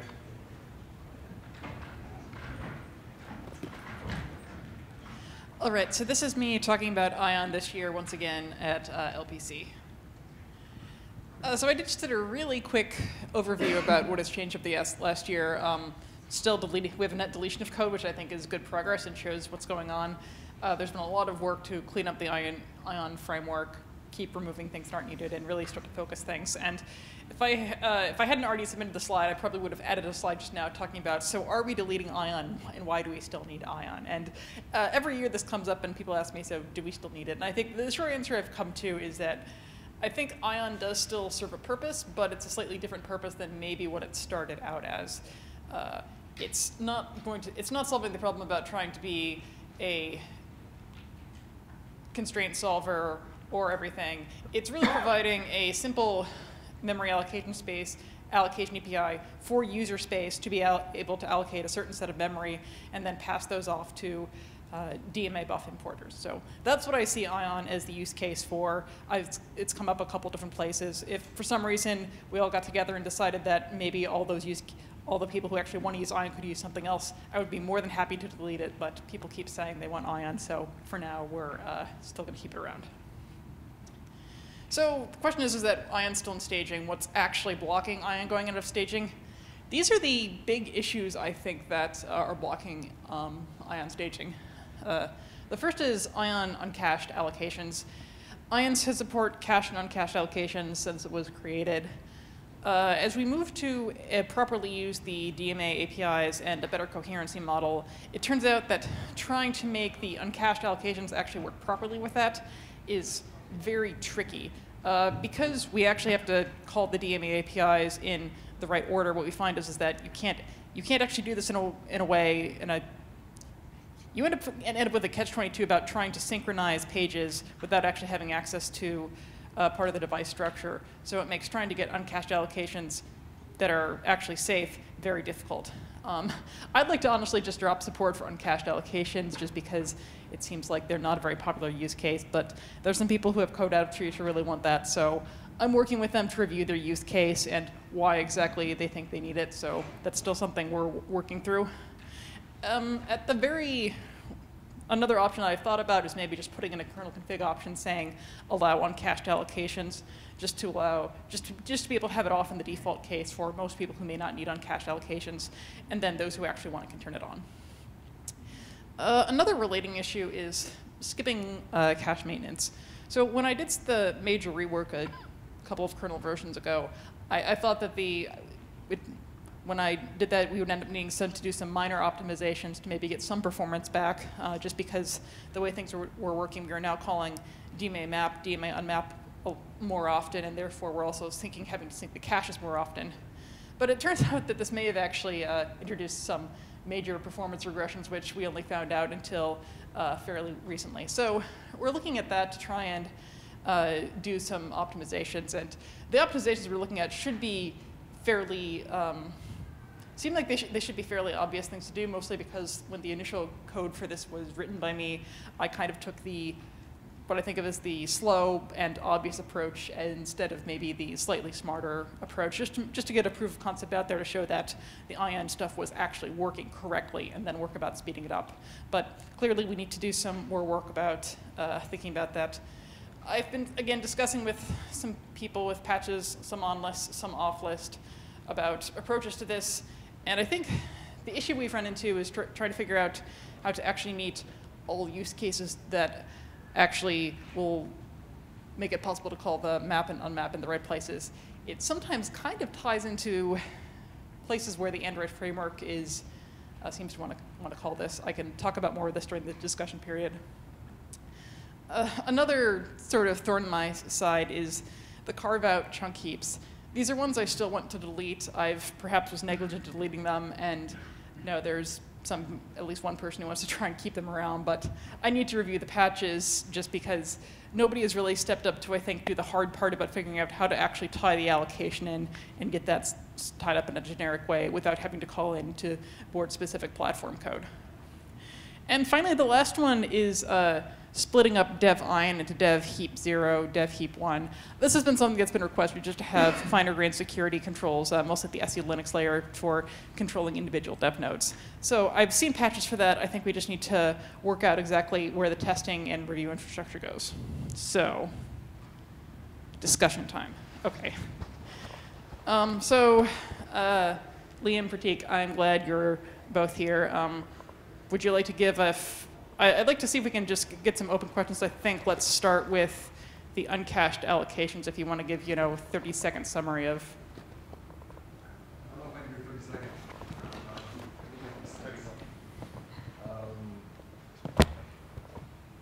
Thirty seconds. Um, in the past, uh, most of our use cases, um, it's only the device that accesses the buffer, so we don't need to do any cache maintenance.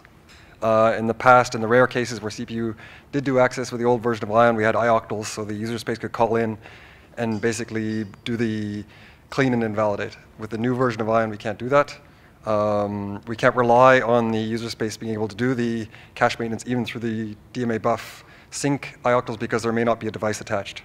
So we've had to switch over to using uh, cache maintenance always on DMA map uh, and DMA unmap just in case there might be uh, user space access. Like you need the invalidate on the, on the unmap in case somebody in user space is going to access the memory. Um, and there may not be a device there for their begin CPU access to do cache maintenance. So that's why we switched to uncached for most of our use cases. That way we could safely skip the cache maintenance across the board. That was our main use case for uncached.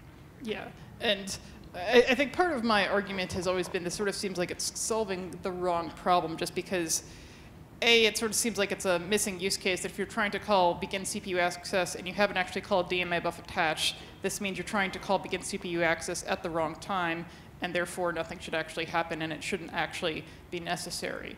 And therefore we should actually be able to do that. So I guess I've never quite been able to grok exactly why user space still is trying to call, presumably hand off the buffer without actually um, having a device attached. And maybe this gets, gets to the point is, is that it sort of seems like somehow the Android framework, which seems to be doing this, once is, is not quite doing the buffer handoff the way I would expect with the DMA map, DMA unmap APIs. So Yeah, so I guess that's what it's coming down to is ideally, like we spoke a little bit before, is if you could have these devices in this use case just keep the buffer DMA mapped uh, the whole time, and then DMA unmap at the end of the use case, you'd be fine because then the user space begins CPU access and, and end CPU access. There'd be a device there, it would work. But the clients like display and stuff have come back and said, we don't know when the use case ends because Android pipelines, so they don't, they can't, they can't wait to the end of the use case to call DMA unmap, so they, they always DMA map and DMA unmap while they're being, while this buffer comes to them in the pipeline. So they'd need to know, they need support from Android framework to know when the use case ends so that they could um, do the DMA unmap. Yeah, so this is sort of where we're stuck at right now about trying to work through this. Like I said, be because we're still seeing requests for Ion that are not necessarily Android specific, I'm trying not to throw too many uh, Android specific hacks into Ion, but if we'll see what happens. So.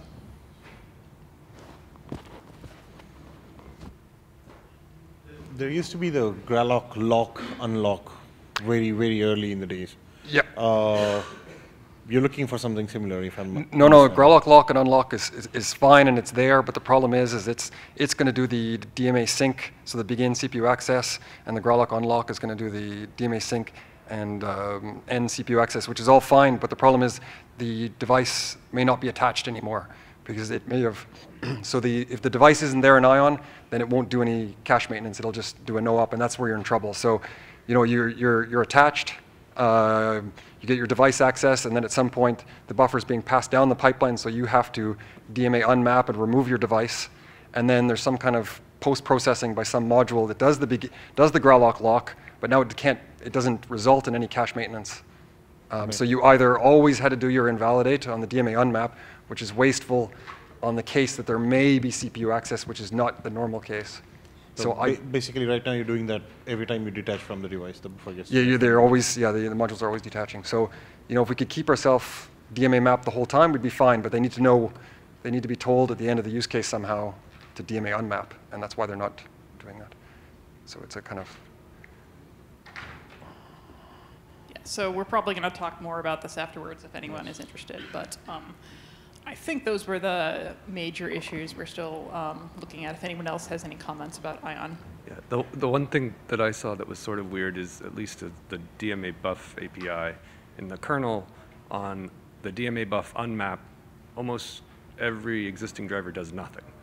And so that sort of suggests if everybody's kind of taking this cheat, you know, to, to avoid doing the flushing, maybe the API isn't accurate. Like, you know, it's, Yeah, it's uh, not what we really need. Yeah, ab- Um, absolutely uh, agreed. And this is something else I was going to think about looking at the DMA buf APIs as well, because uh, agreed. When I implemented this, I was kind of going by what the API suggested just because try and follow the framework. But yeah. Four minutes to go. Okay. Anything else about Ion? Otherwise, I'm happy to give people five minutes back.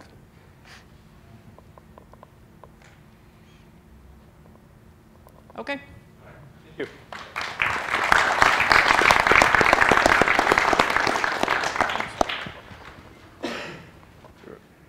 All right, so we got one last presentation regarding cuttlefish. There you go, sir. Floor is yours.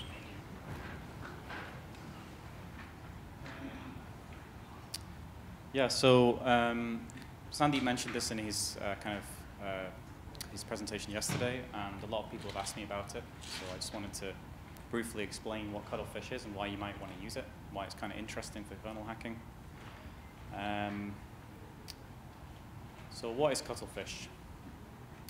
So cuttlefish is an Android virtual device based on QEMU. Um, it's x86 64 based, uh, so we can use KVM, hardware, hardware virtualization, on the Google Cloud platform. Um, and on Google Cloud, if you want to use it on Google Cloud, because um, Google Cloud, uh, you, you would create a Linux file system on the Google Cloud, and then you would run this inside that that Linux file system. And it would use nested virtualization to achieve hardware acceleration. Um, it's, it's VirtIO based um, for the most part. So the block network serial GPU are all coming through the standard VirtIO uh, driver interfaces. Um, but there is this driver that we added to staging recently. I think it was added in 417, um, which uh, is still being used by some legacy components in the Cuttlefish port for things like uh, input and uh, audio. But we're planning on removing that. Um, there's a kernel defconfig to enable those drivers and the Android features, which is in the Android kernel common tree. Um, and it's not to be confused with the Android emulator, which has a whole bunch of kernel changes like Goldfish pipe and Goldfish address space, which we don't need for Cuttlefish. Um, so that means that we can develop it upstream in the open. It's developed, the user space is developed in AOSP, and the kernel changes are all developed uh, upstream in mainline Linux. Um, the Wi-Fi driver, which is used for virtual Wi-Fi on Cuttlefish, is not currently upstream. It's pending review on net-next, but it should hopefully go in soon. Um, so if you want to build Cuttlefish, if you want to try it out, uh, these are the kind of steps you need to take. You just check out the code, launch it, um, build it as a usual platform, just like you would build for Pixel.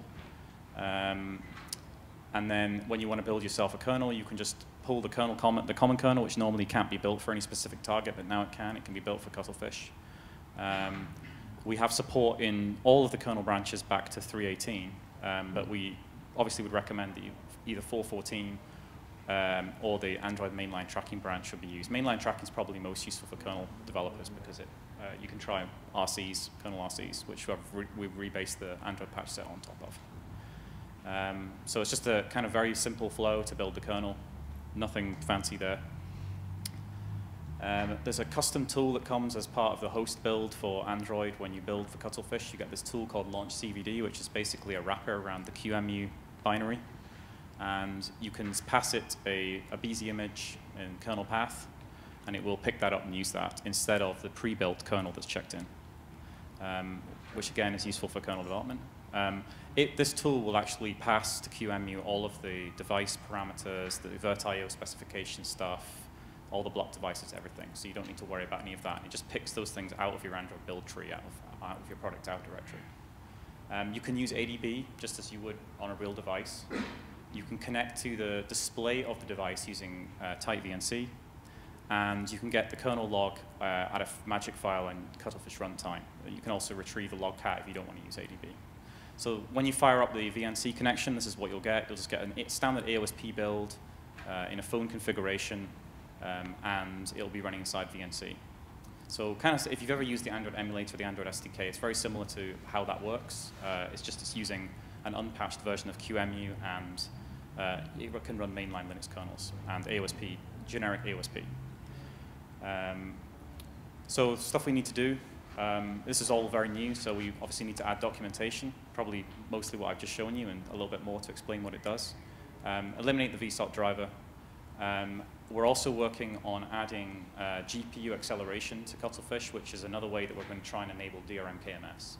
So we're going to add uh, VirtIO GPU 3D support to the build so that uh, the graphics acceleration will be done on the host side, on the virtual machine, on the QEMU side rather than actually in the guest. At the moment, Cuttlefish is using uh, Swift Shader, which is a software GPU implementation that runs in the guest.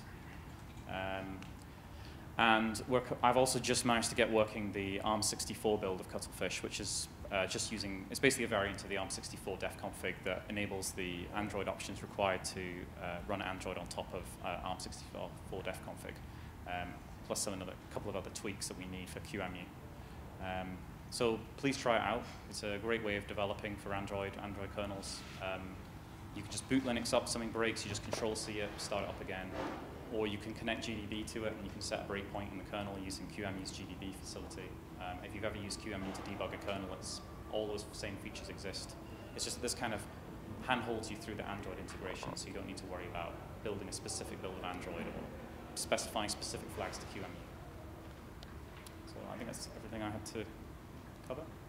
Any questions? um, so you mentioned uh, you're using Swift Shader at the moment uh, for the ARM64 port. Does Swift Shader work in there now? Uh, so on a, if you build for ARM64, you need to build an ARM uh, 32 user space, bec just because of that reason. That Swift Shader's code generation in the build system currently does not have ARM64 support. Okay. But when we replace the, the, the, the GPU pipeline with VirtIO GPU 3D, that problem will go away. So I think um, it shouldn't take us too long to get that, to land those changes. And the GPU support will also work in Google Cloud Er, for the VirtIO? The, the intention is that if you, if you pay for the, the GPU instance, you'll be able to use it on Google Cloud. That's, that's, that will be our primary test platform. But what we'll also enable is we'll actually use Swift Shader in QEMU instead. So if you don't want to, ena- if you don't want hardware acceleration, but you still want to run on ARM64, that becomes a possibility because we'll be using an x86 64 Swift shader, Yeah. but an ARM64 binary user space, if that makes sense. Okay, thanks. Just, it'll run really slow. you're not running it. So, I I assume I can install any applications that I de- Android applications that I develop on Cuttlefish That's and right, test them as is. That's so right, if that is the case, uh, why would I use this over uh, emulator? Sorry, I did not follow that part. So if you use, if you're, if you're developing the kernel for the emulator, you basically have to pick a version of the kernel that the emulator team have ported all of their changes to, because the Oh. emulator changes are not on stream. Right. Right. So the, the current release for the emulator, I think, is 4.4. So if you want to work that far back, you can. Uh, the other thing is the, the emulator's QEMU is a, is a fork of QEMU. So for the emulator to even work at all, you can't use a standard Right. QEMU build. You have to use the QMU that's checked into the emulator. And that is not nice to use.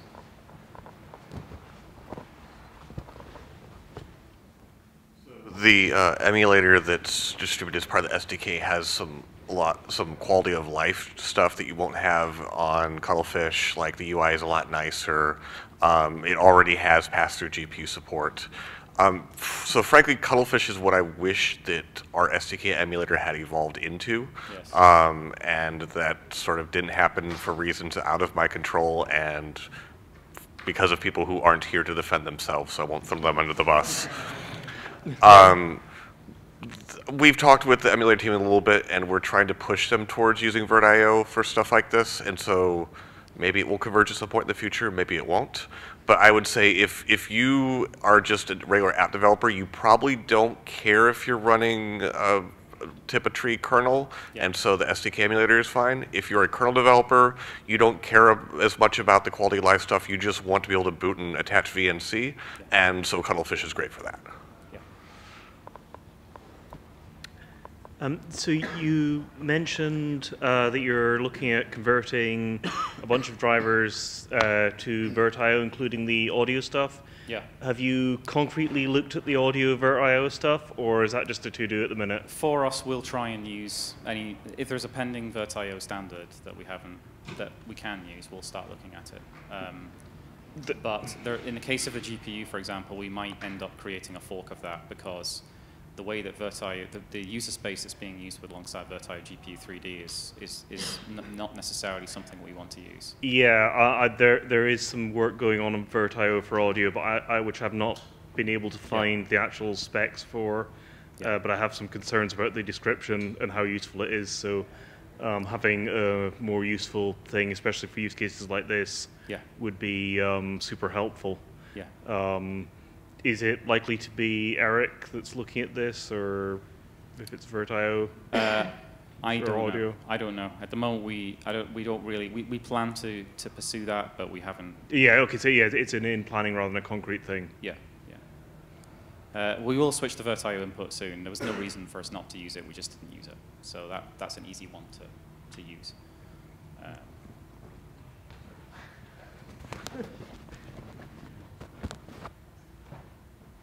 you just say something about VirtIO GPU having some requiring changes or forking, or, or I mishear? So, um, VirtIO GPU is so. And correct me if I'm wrong. VirtIO GPU is a very basic VirtIO driver. It's just exposing a DMA command buffer to the, to the user space. And we had some concerns that because VirtIO GPU 3D is typically being used with virgl, which is taking OpenGL ES streams and then converting to Gallium and then writing them into this command buffer and then communicating them back to the virtual support inside QEMU, virtual render support, that we wouldn't want to conflate that when we added our GPU tunneling support. Because we want to support Vulkan ultimately, and we want to support uh, debugging of GL programs like they can with the emulator. And so we don't want a transliterated GL shader or a transliterated GL control stream. We don't need to run desktop GL inside Android. So we're, we're looking at writing just a very simple binary, re binary representation of the OpenGL commands into that command buffer instead. So I don't know whether we'd actually need to tweak the VirtIO spec to add in a, like a, we're doing this crazy thing in the, our binary Um, format or not. I know I wrote it, but it's been a while. I'm pretty sure I, the, the uh, 3D, there's like you can pick a sort of a new protocol, so you can add acceleration protocols to the kernel.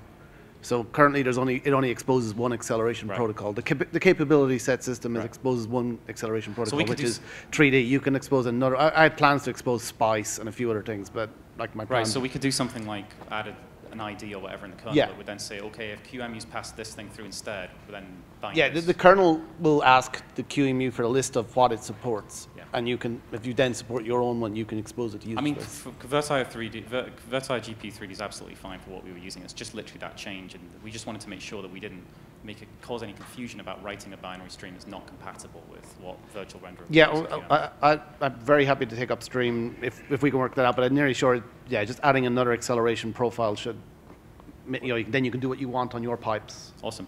Thank you. We got three minutes left. Have you thought of using uh, crosvm instead of QEMU? Uh, yes. so one of the reasons one of the reasons why we want to make sure that we are VirtIO clean is that we are not tied to QEMU. So one of the one of the things you'll see when you actually try Cuttlefish is it's doing this thing where it's using it's spawning an IVSHMEM uh, in program that attaches to QEMU to provide shared memory between the guest and the host. And we kind of want to get rid of that because it's very specific to QEMU. So what we want to do is make sure everything uses VirtIO instead, and then we should be more hypervisor agnostic. But for our own internal reasons, we may want to use crosvm at some point. And you can probably figure out that might lead to other things happening uh, as a result of using crosvm. But it will be QEMU in AOSP for the time being.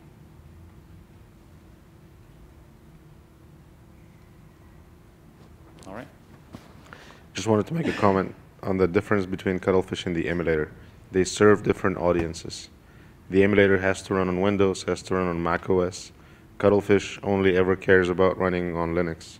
And so that allows us to uh, move faster and to have a cleaner code base. So the reason why the emulator has to run on Mac OS and on Windows is why QEMU is, QEMU is patched in the first place. So it's just a long, two different, two different audiences uh, is what I wanted to say. Yeah, another, thing, another cool thing you can do with Cuttlefish kernels as well is you can run them just on the command line with QEMU. So there's nothing specifically been changed in the QEMU defconfig or the patches that would disallow you from using just a normal QEMU flow. So if you just wanted to boot like a Linux file system and just test some user space code or run like perf or some other binary that's hard to get on Android, you can just fire up the, the, an- the, the Android binary kernel and test exactly the same thing using a Linux user space, which with Goldfish is a bit of a pain because it's expecting things like the NAND driver and the pipe driver and everything to be on the QEMU side, which Cuttlefish does not require.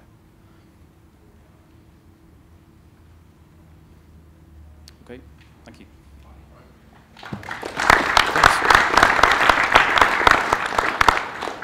Okay, so this is that was pretty much the last uh, talk here. There's one just one last housekeeping thing I wanted to do before uh, people kind of run out of the room, especially for people that were actually doing a presentation here. Give me one second if I can grab this and get it to the other side, which I kind of almost am able to do if I can find my mouse. Um, all right. Bingo. So I had some questions regarding filling this out for the speakers.